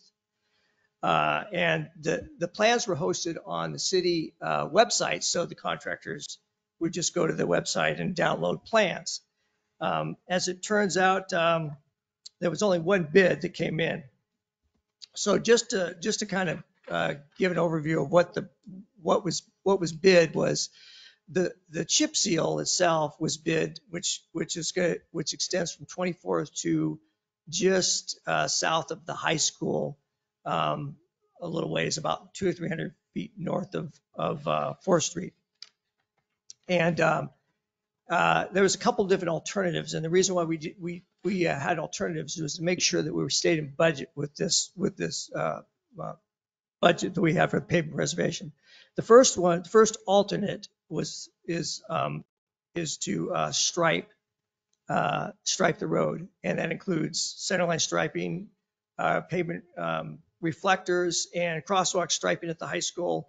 So there was a lot of things on that that had to be striped. Uh, the second part of it was called a, is called a fog seal, which a fog seal is really, um, it, it's, it's, it's, it's an asphalt, a liquid asphalt that has water and it's called an emulsion. Anyway, it, it, it, um, sometimes it could, it could be sprayed on these chip seals and it, it makes the road a little bit more, you know, it, it's not as rough. And then it also protects the road a little bit longer. It's not essential, but it, but it does help a little bit with the life of a, of a, a chip seal project. So those were the alternates. And so uh, Santa Fe, Sierra Santa Fe um, is the contractor that bid it. They're a local contractor. They're out of uh, Ridgefield, and they build they, they bid a lot of projects around here. So um, their their budget was within the engineer's estimate. Engineer's estimate was just around one hundred thousand dollars, a little over one hundred thousand. So the base bid uh, that they bid was uh, fifty six thousand, just over fifty six thousand.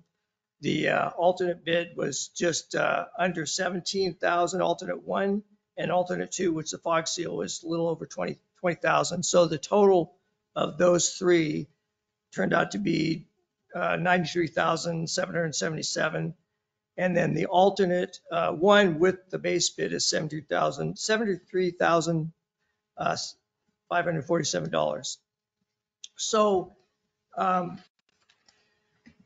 although, although the entire bid was, is within the budget of what we have, um, staff is not recommending doing all of those because there has to be some money left over for, for maintenance program to, you know, use, use that money for for, um, uh, you know, the, the, um, filling potholes and, and crack sealing. So, uh, what staff is, is recommending is that we award the base bid with the alternate one, which, which is a striping for seventy-three thousand five hundred forty-seven dollars. And that leaves a little over twenty-three thousand dollars left in the budget so that that could be used throughout the rest of the year to, uh, you know, to do these other little repairs on the road.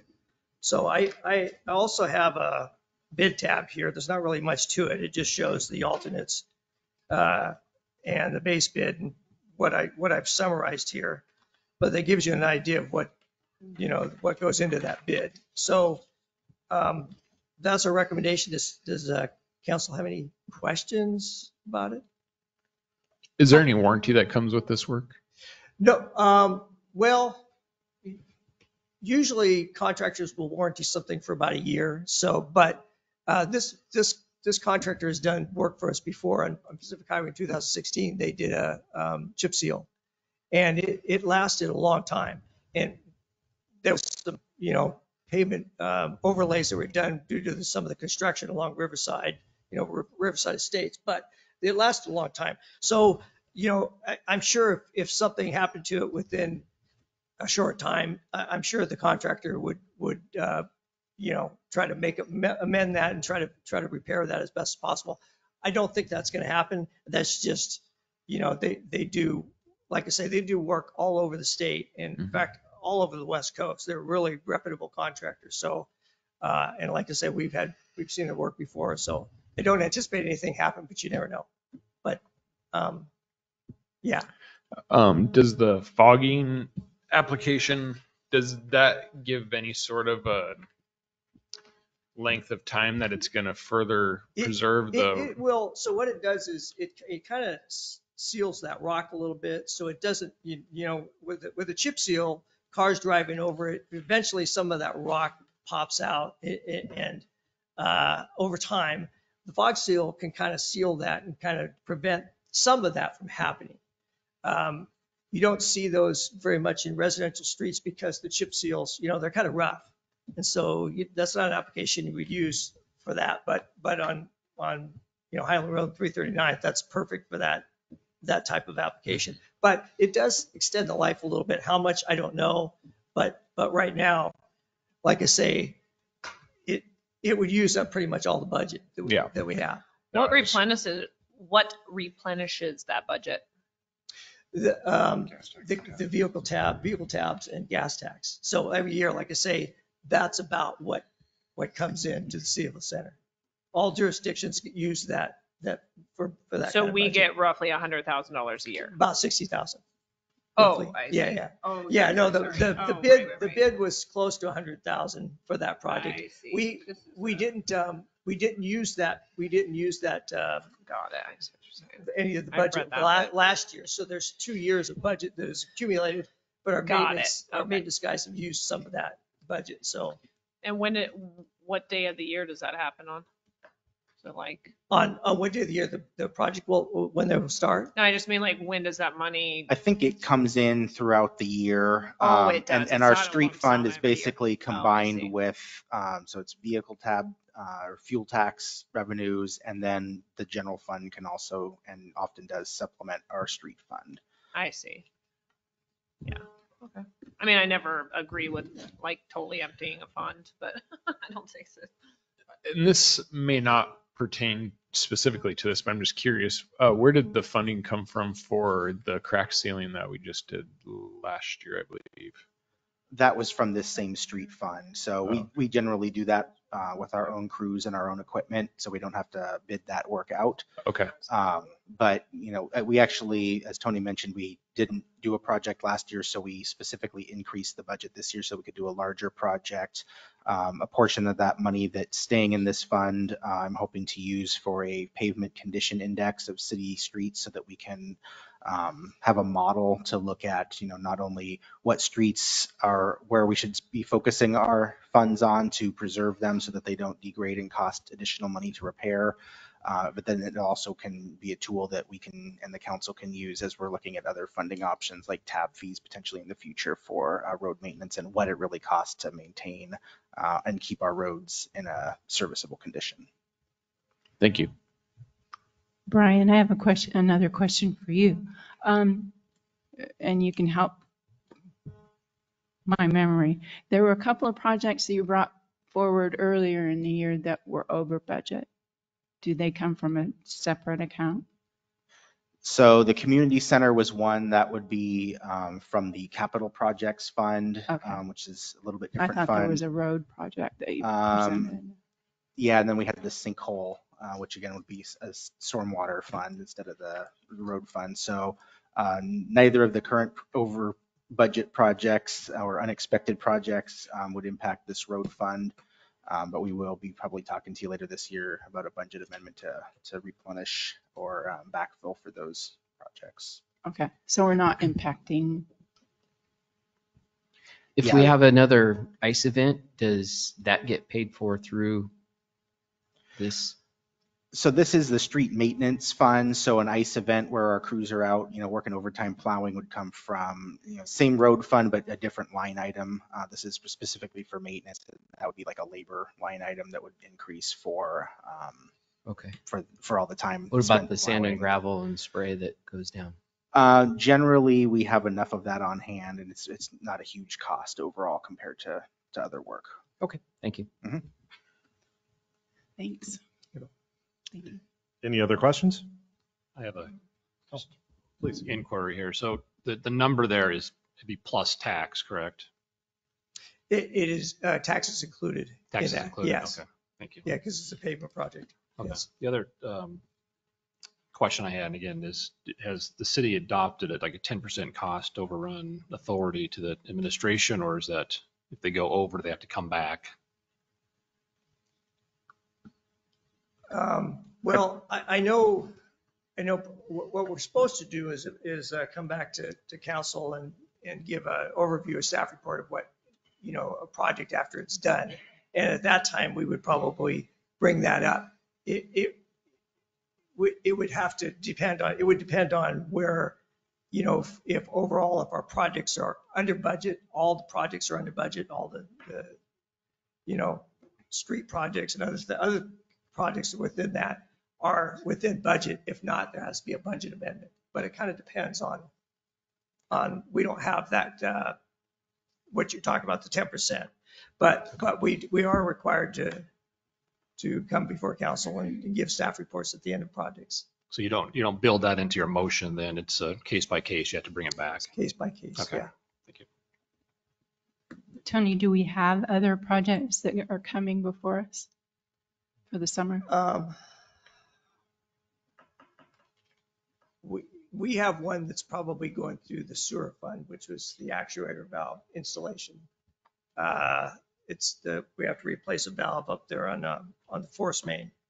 And so I think that's, that's not, I don't know if that's in the sewer budget or not. We haven't discussed that, but it's, it's a necessary thing for the sewer system. Yeah, that one was budgeted in sewer. I don't think we have any other road projects planned this year. We have a few other design projects that are road projects that will be coming to council, but as far as construction projects um, for this road specifically, um, I think this is the last one that we have planned this year. Okay. I'm Not thinking of any others off the top of my head. Thanks. You're welcome. All right, any other questions? Can I get a motion?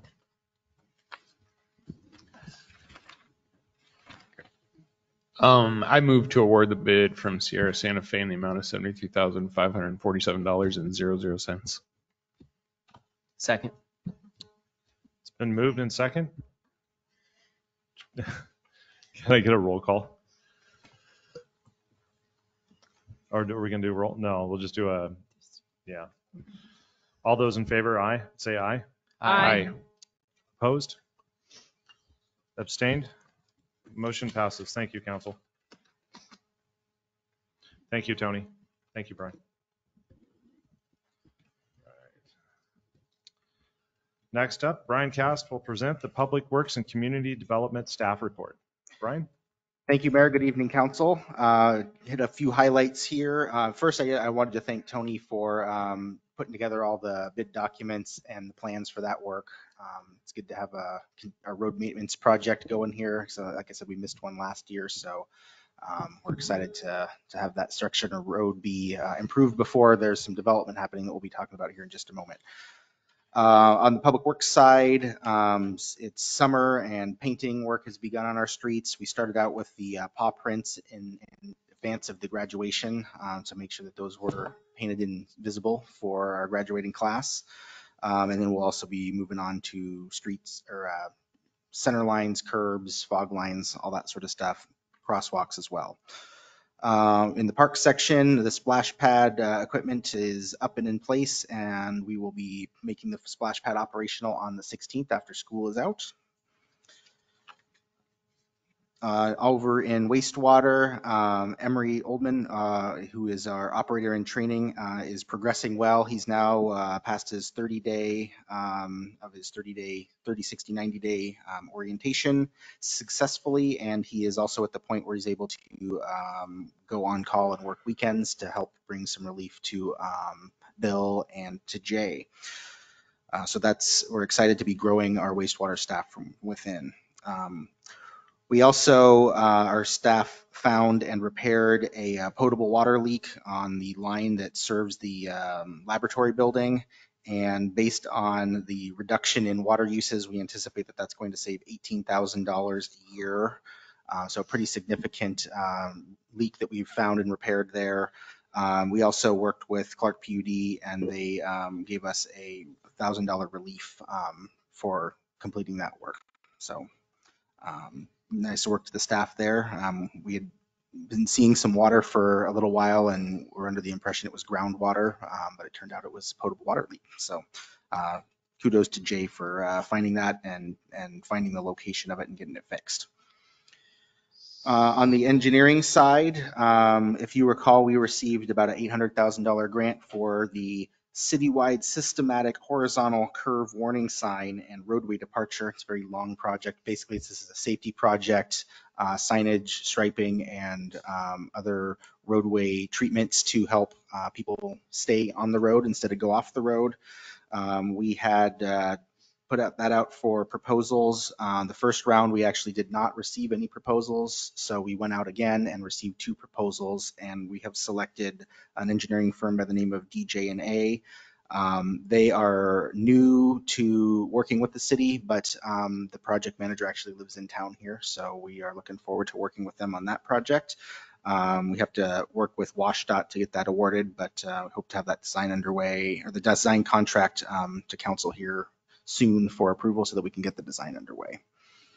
Uh, Over on the community center, uh, Lee Contractors is making good progress. The uh, appliances are all here, the hood's here. Uh, They're working on the hood um, installation as we speak.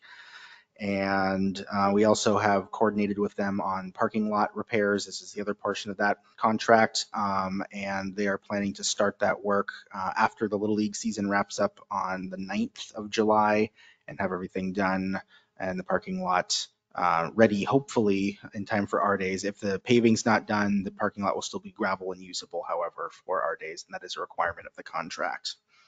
Hey, Brian, with Yes. the um, community center, I was just curious, is, uh, I don't even know what to call it. The thing that's being built on top of it, is that just architectural or is that? It uh, screens the uh, hood vent outlet. Oh, okay. Nice. It's gonna, it looks like it's gonna look nice. Yeah, it Just, where they're gonna paint it so that it matches the rest of the building. Um, and it just, it kind of blocks the big metal structure is where, where the, uh, the new fancy hood vents out. I was gonna Nice. say, Um, one other item that's not on the list here that I want to cover, uh, we had a coordination meeting with WashDOT about their summer work on I-5, and one of the main projects that's going to be impacting the city here is uh, the northbound um, bridge over the North Fork, which is the one just south of Woodland, right before you get to Woodland. Um, that work is going to be starting in July and is a two-month project to um, repair the deck. Um, if you probably noticed, there's um, trucks have to drive in the center.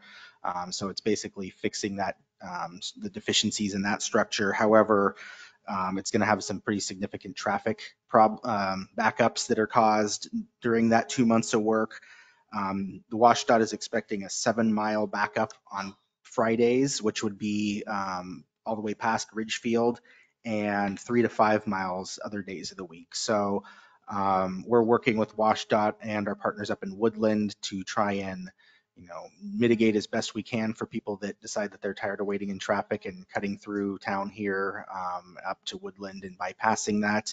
Um, but inevitably there will be some some traffic impacts on our local streets from July through September. Um, so as I as we have more information on that, we'll share that. But um, something to keep in mind, and and we're going to be reaching out to the community and informing as well. Um, Five to reader seven board- mile backups? Five to seven mile backups. So you're saying I-5 north, right? From Northbound. like Woodland all the way back almost. Exactly. So from Yeah. like the south side of Yeah. Woodland all the way probably to around the rest areas on And they're just projecting on Fridays that, or not every day of the week? Friday's the worst day. Sure. Um, So then so it'll be Friday's like a two to seven three mile miles a backup. day. And yeah, and I think, uh, Mondays, Monday through Thursday were five and on the weekends it was three or something like that. But, uh, yeah. Obviously pretty- peak times And and that's all the peak that. time Yeah. backup, Wow. Interesting. Okay. So. Good to know. Yikes.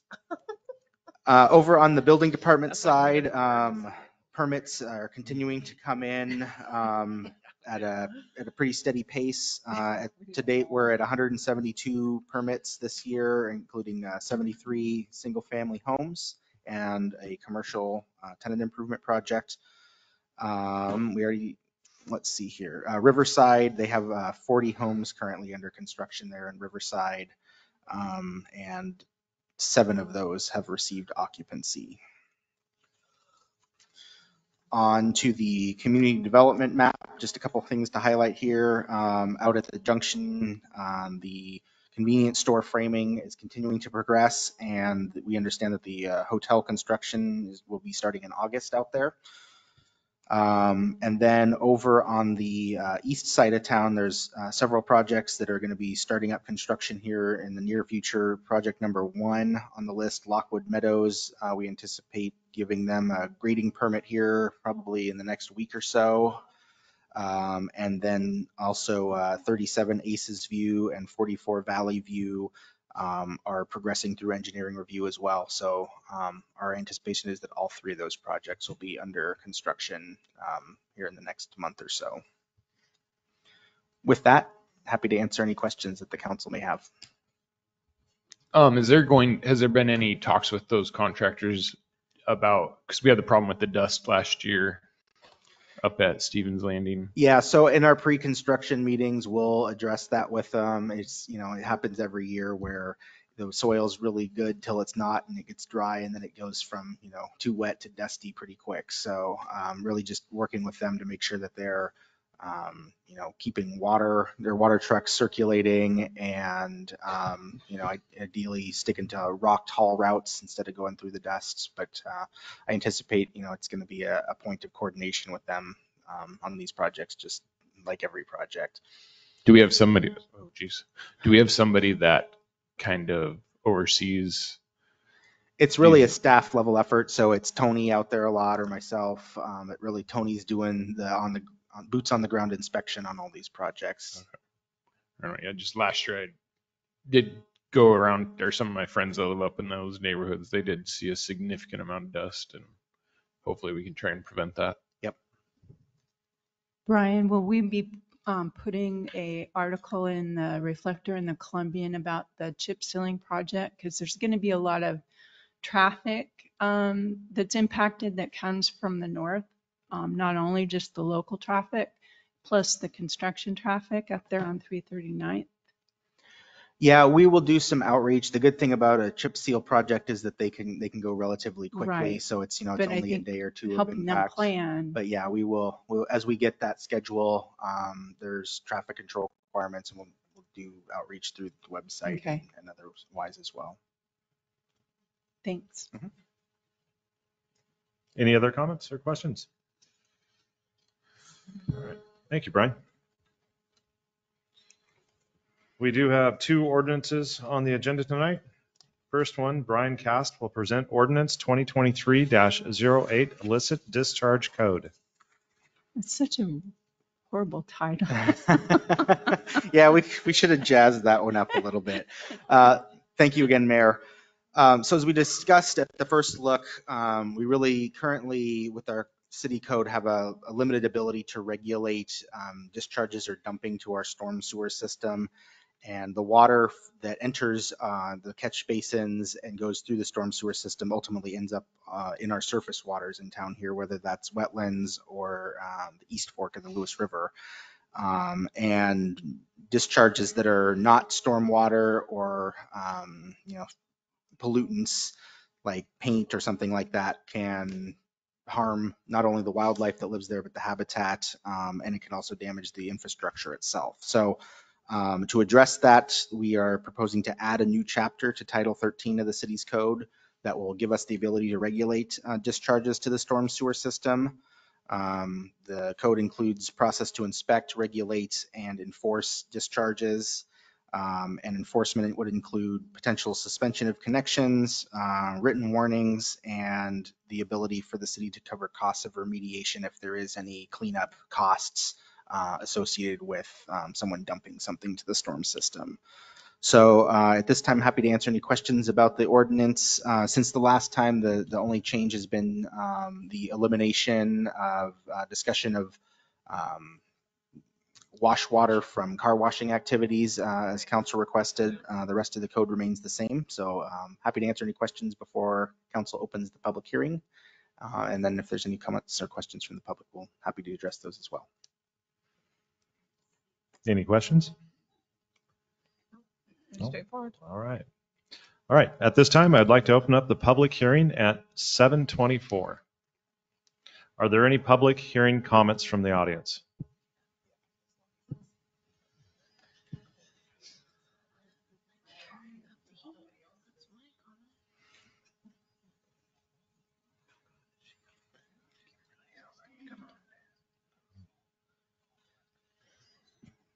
Kimberly Goheen Albin. Um, let me see here. I wrote some notes. Well, as far as that leak, I saw it a few months ago, and I'm wondering, I, I now, I was gonna ask if it was fixed. Um, what I'd like to know is, was it polluted? And, um, uh, it, kind of what, what, what was, uh, you know, in that leak? And then, um, let me see here. Uh, we have had a, quite a few nice weekends here prior to you opening up the water park. I'd kind of like to s- see it opened up maybe in, um, May. You know, we can do a 10-day, 20-day forecast. I was looking out there and it wasn't there a few days ago and I thought, boy, those kids would just love that water park today. So if it's not anything that's too hard, maybe that next week or uh, next year, let's, you know, look up the, uh, the weather for that. I do appreciate the quarterly town halls. um, And uh, let's see. Well, the stormwater, ha- has there been an example of somebody doing that? I mean, we're not going to want to flush stuff down our toilet. And I'm going to say it tonight. I've had this on my heart for a few years. If women, uh, the oceans are full of wood fiber, and the wood fiber gets into our fish, their lung or their gills, right? So it's only natural that we're polluting the hell out of the earth. With that said, it, it's just a hygiene thing, but if women could somehow take their toilet paper and put it in a bag, put it to the earth, burn it, whatever, instead of putting it down the toilet, think of the millions and millions and billions of, you know, saving our water.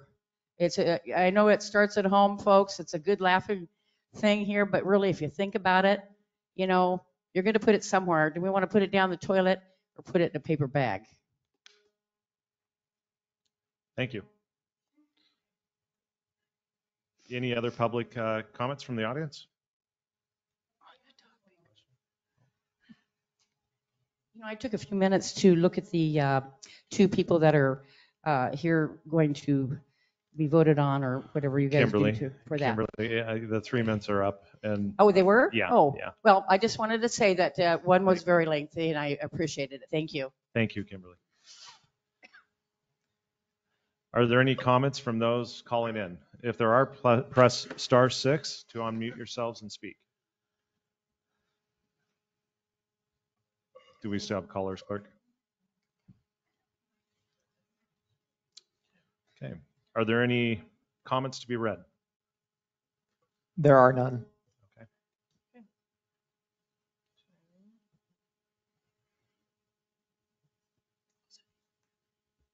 Oh, there aren't. Oh, I thought you said there are. Yeah. Oh, Wrong I was like, what are we I'm sorry. Sorry. Um, I- Okay. Here you go. I move to adopt ordinance. Oh, oh, hold on, hold on. Oh, I have to sorry. close. Yeah, I have to Oh, close. sorry, sorry. All right. If there's no other comments at this time, I'd like to now close the public hearing at 7:28. And Are there? I'll briefly address the, the questions that were raised. Um, so the, the discharge from the wastewater treatment plant, um, if you were walking along, it's sort of tangentially related to this. So if you were walking along the trail there below the treatment plant, um, you know, over the last six, eight months, there was water sort of seeping from the hillside. It was uh, drinking, a drinking water leak. So it was the, the potable water line that serves the laboratory there that, that was the leak that was repaired. Um, so, you know, not sewage and not harmful, um, but still not ideal, wasting water. Um, and we actually have had a few instances of folks dumping stuff, you know, paints, oils, otherwise to this system, um, which is really the impetus behind this, this code. So. right. Makes sense. Yeah. Yeah. All right. Uh, Any other comments from council? If not, can I get a motion for this ordinance, please? I move to adopt ordinance 2023-08 as presented. Second. All right, since this is an ordinance, I would like a roll call on this, please. Councilmember Fox, Yes. Councilmember Kasberg, Yes. Councilmember Boyle, Yes. Councilmember Cerveny, Yes. Mayor Thornton, Mayor Strobin. I, I don't. Ordinance passes. Thank you, council and clerk.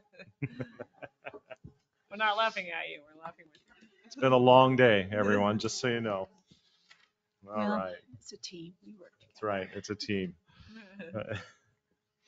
Okay, next up is ordinance 2023-10, drug possession. Um, And this one will be presented by the city attorney, Shawn MacPherson. Mayor, council, um, just a quick, quick background. Uh, again, this is my second meeting covering for Bronson. I'm the city attorney for Camas, also city attorney for White Salmon, and happy to have to be here. I'm Happy to have worked actually on this, um, uh, new ordinance. Um, quick background, um, think most folks are familiar with this, but essentially back in February 2021, the Washington Supreme Court invalidated and declared unconstitutional um, Washington's strict liability drug possession laws, and that related to cocaine, heroin, fent- fentanyl. Um, The legislature provided for a fix in the summer of 2021, um, but in that fix, they indicated that for the first two um, arrests, that they were referred to uh, treatment. Um, And it made it very difficult for law enforcement to, to enforce. Um, The legislative session for this last session came in and the legislature finished that session, the regular session, without adopting a fix. And so the governor called them back into special session and said, this is your sole task, get this fixed. And they came up with, I think it took them a day, they came up with a fix. So this is what we call the Blake fix. Essentially, um, the timing is such and the requirement is that for local enforcement purposes and what they've indicated now for drug possession, it's a, a gross misdemeanor. uh, which falls within the purview of uh, the local municipalities as far as their enforcement powers, but you have to adopt it uh, by reference. And so the purpose of this ordinance before you today is to adopt by reference um, the uh, changes to Chapter 6950 in the RCW into the Center Municipal Code. That'll allow, uh, again, effective as of July 1, uh, for enforcement to occur. So that's the presentation as far as, uh, you know, what the intent is. It's, uh, it's a good fix, and I'd uh, urge the council to adopt it. Happy to answer any questions. Any questions for the city attorney?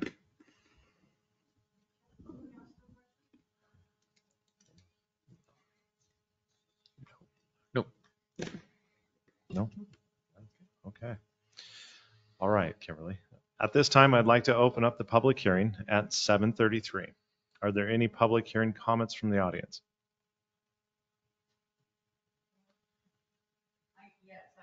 Can you please step up to the podium, Kimberly? We have to have it recorded. Thank you. Kimberly Goheen Elvin. I, I would like a more in-depth um, description of what you're uh, saying, especially when it has to do with Olympia and Inslee and uh, legislation. I want to say something about that. Legislators um, actually are not elected.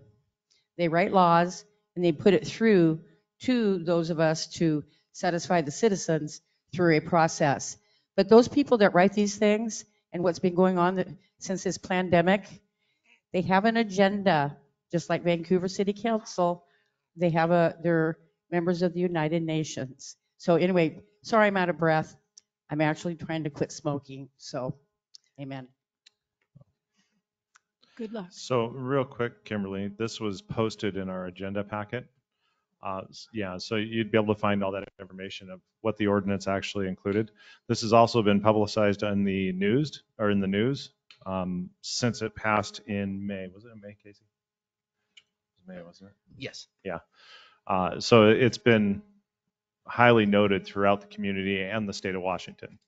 Um, If you go back through the agenda, you'll be able to read up about it. The council's been, we, we've had a few meetings on it, so the council's very aware of this entire ordinance. So that's why the briefing, or the description was brief. Are there any other public hearing comments?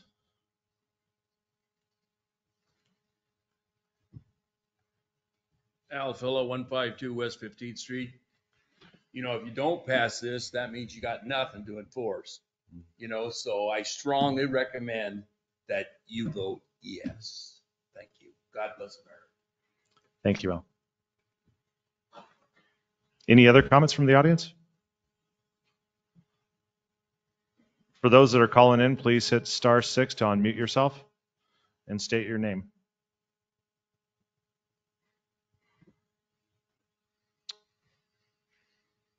Are there any uh, comments to be read, clerk? None. All right. I would like to now close the public hearing at 7:35. Are there any other comments from the council? No. Yes. Yes. Um, I couldn't agree with you more, Al. This particular ordinance gives us, um, as far as a a municipality and the um, police that cover our area, the authority to actually deal with um, those that have illicit drugs, which is a- more appropriate title for this particular than um, the sewer discharge. But I'm getting beside myself. Uh, So I think, you know, it's imperative that, that we really pass this ordinance to give them the power to actually pull over and, and, and as well as address the, um, those that have these and that are impacting our kids. And, um, you know, it- it's the only option that we really have. We, we certainly wish that the legislature would have written um, a stronger and, and more effective and, and more broadly written or uh, language, but this is what we get. So to give them the power um, for our local feet on the street, um, this is really what we need to do as a council. I'll just add to that that uh, you know this this RCW the the the decision that was passed in the in the uh, extended session is far better than what the expiring Blake fix, the Blake decision was. Um, it's not perfect, you know, it could be a lot better, like, like Councilmember Cerveny said, but it's definitely far better than what it was. Um, and the, the other thing I think that we need to keep in mind is, is, and correct me if I'm wrong, but I believe that the legislation specifically stated that a, a city can't make a more restrictive drug possession. So um, it's kind of twofold. We're not able to make it any more restrictive, and we need it in, in place so that municipal police can enforce this under city code. Yes, that's correct. They, Thank you. the legislature preempted, they call it preempted the field. In other words, local jurisdictions aren't um, uh, allowed by law to step in and create anything more restrictive. So that's called, that's the concept of preemption, and that's what the legislature specifically indicated in this, in this legislation. So you're correct. Thank you. Any other questions? Comments? Can I get a motion, please? I'd like to make a motion um, to approve ordinance 2023-10. Second. All right. I have a motion and a second. Can I get a roll call vote on that, please? We'll try this again. Councilmember Fox, Yes. Councilmember Kasberg, Yes. Councilmember Boyle, Yes. Councilmember Cerveny. Yes. All right. Ordinance passes. Thank you, council. All right. That takes us to, we have no consent, I'm finished, new business. Council, we do have new business on the agenda this evening. Maria Swinger Inskeep will be going over the interview process to fill the vacancy for city council position number four. Good Maria? evening. So the way that this will- will work is that we have pre-submitted questions from the current council members. We will interview one candidate at a time while the other candidate is in the conference room. We will then switch and interview the second candidate. They will have a time of three minutes per question. Council will then break to executive session and come back and make a motion to appoint one of the candidates. Council, do you have any questions? Okay. So we'll start with Miss Linda Tracy and Alex, if you can please escort Miss Myrna Leha to the conference room, I would appreciate it. Thank you. So Linda, if you want to come to the microphone. I will read the questions, but you also are welcome to make notes on the paper that's in front of you if you'd like to. Oh,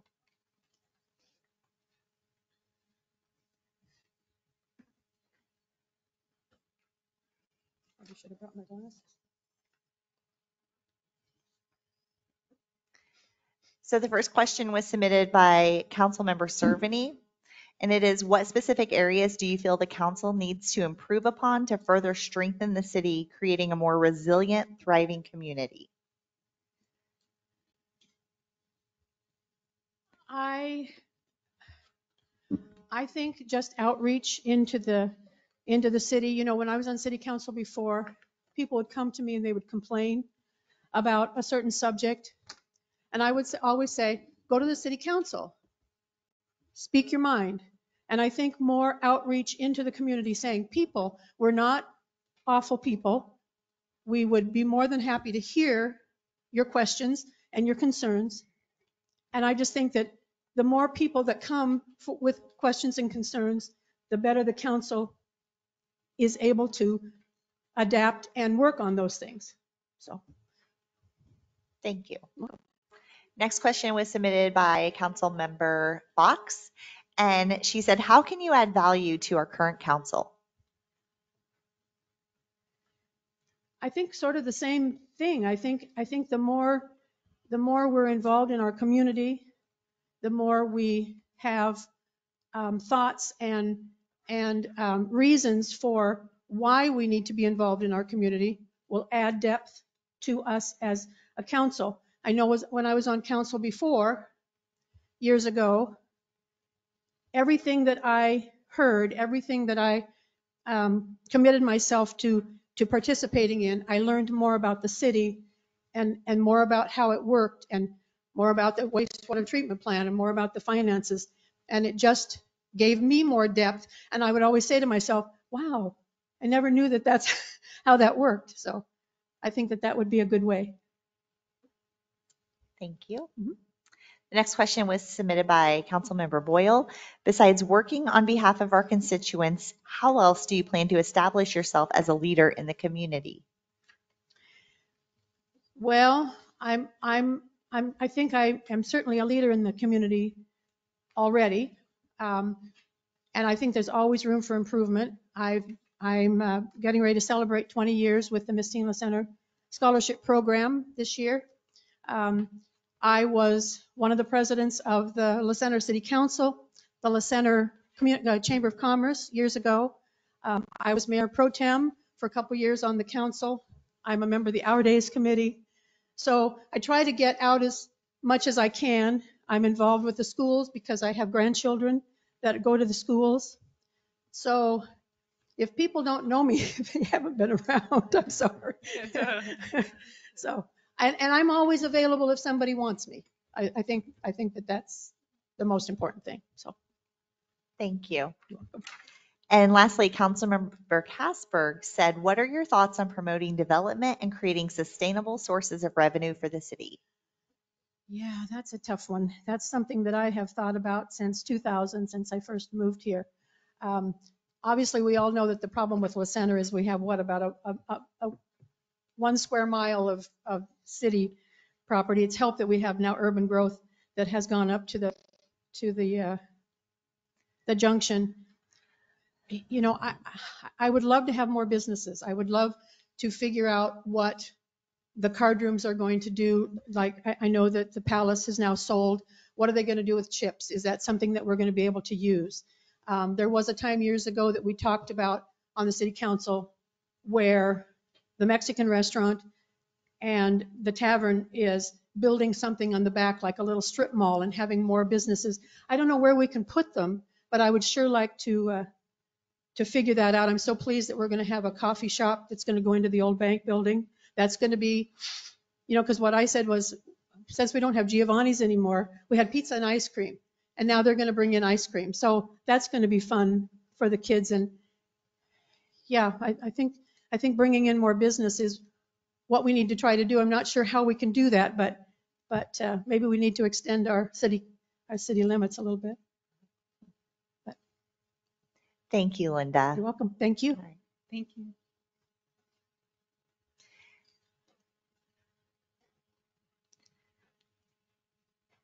So Linda, Alex will actually take you to the conference room.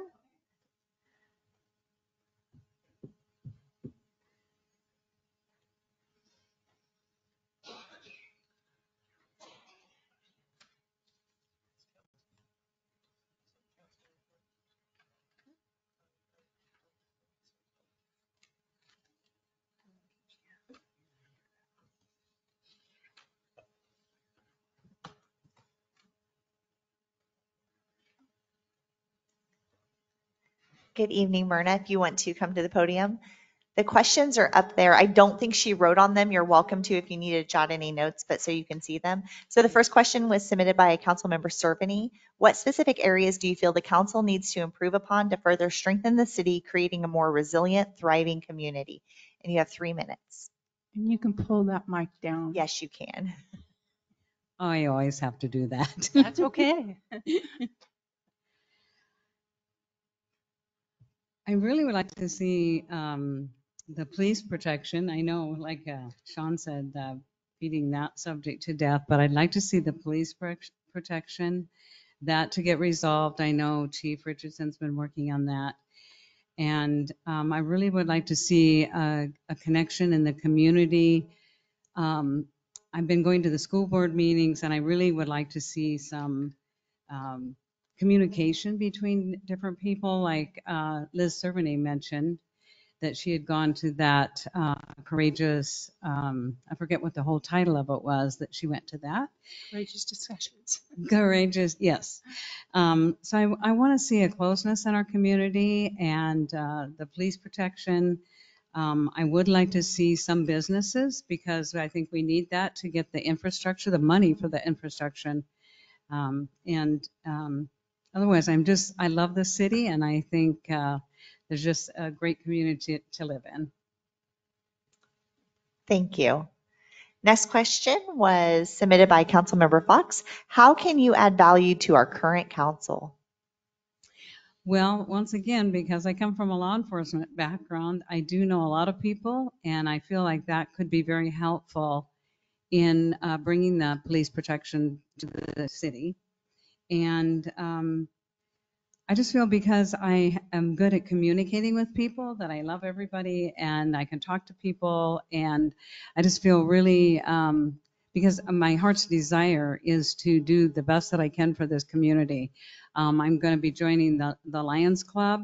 Um, I'm going to be very involved. I've been very civically involved as far as Clark County goes, and now it's going to be really focused on what I can do for this city and listening to the constituents and really wanting to give a voice to everybody and to do what the constituents want for this city.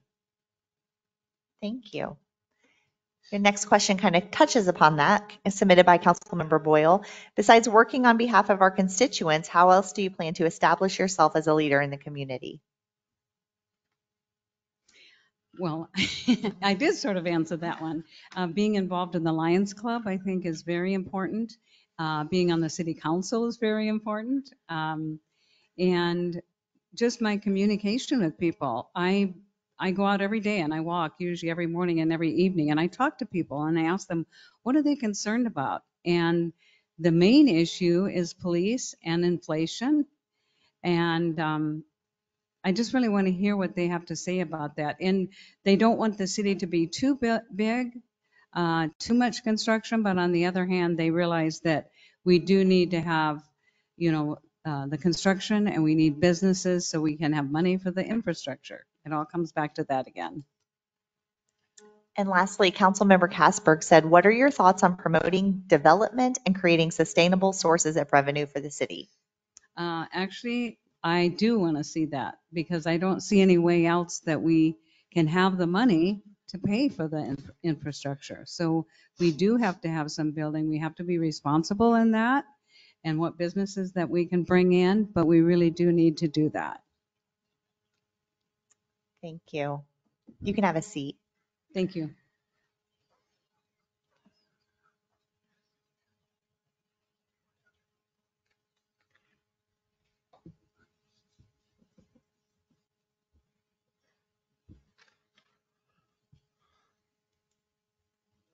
I was waiting for her to come back before we move forward.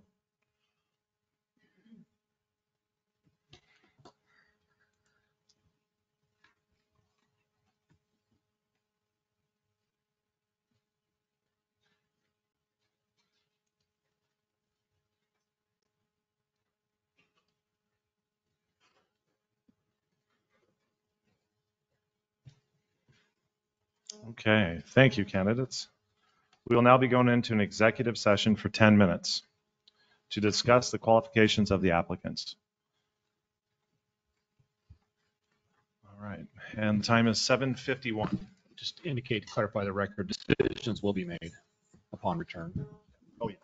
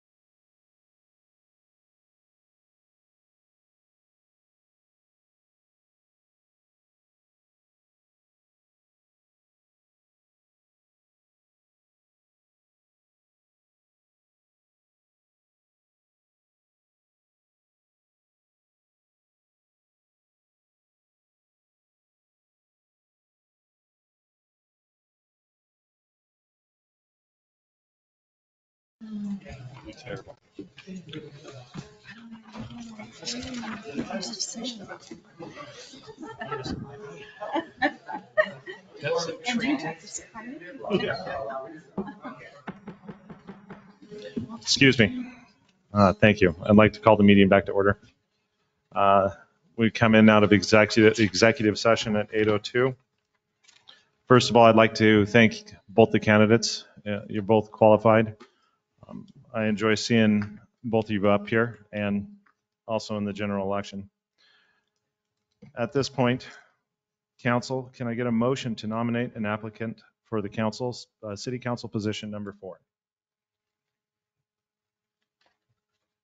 So moved.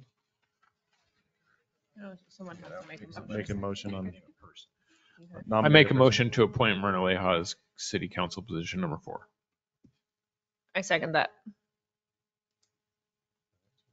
That's it. Can we get a roll call vote, please, clerk? Councilmember Fox, Yes. Councilmember Kasberg, Yes. Councilmember Boyle, Yes. Councilmember Cerveny, Yes. Motion passes. Thank you, council. Thank you, everyone. Thank you to both of you. Yes, thank you. Appreciate your time. And good luck. Yes. Yes. Thank you. Thank you. The city clerk and director of administrative services, Maria Swinger Inskeep, will be swearing in Myrna Leha for the city council position number four.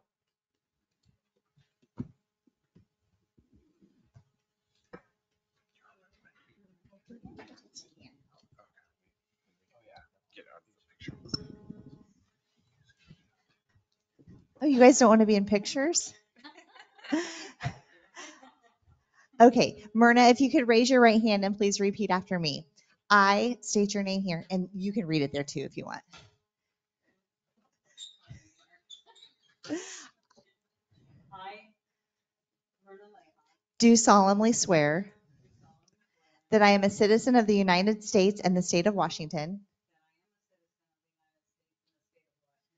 that I will support the Constitution and the laws of the United States and the Constitution and laws of the state of Washington, and will to the best of my judgment, skill, and ability truly, faithfully, diligently, and impatient, impartially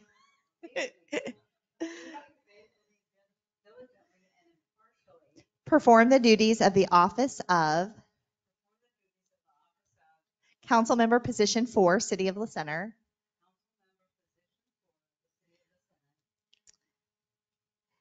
in and for Clark County in the state of Washington, as such duties are prescribed by law. Congratulations, Councilmember Leha. Absolutely.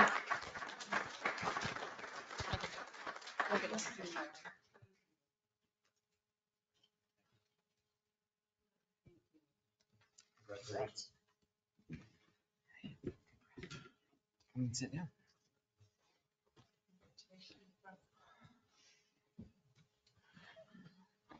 All right. That concludes our meeting for tonight- tonight. Can I get a motion to close? So moved? Second? Motion passes. All those in favor? Aye. Opposed? I oppose, I oppose. I'm kidding. Abs- Abstain. I know, I got ahead of myself. Motion passes. Thank you, council. Thank you, everyone, for attending.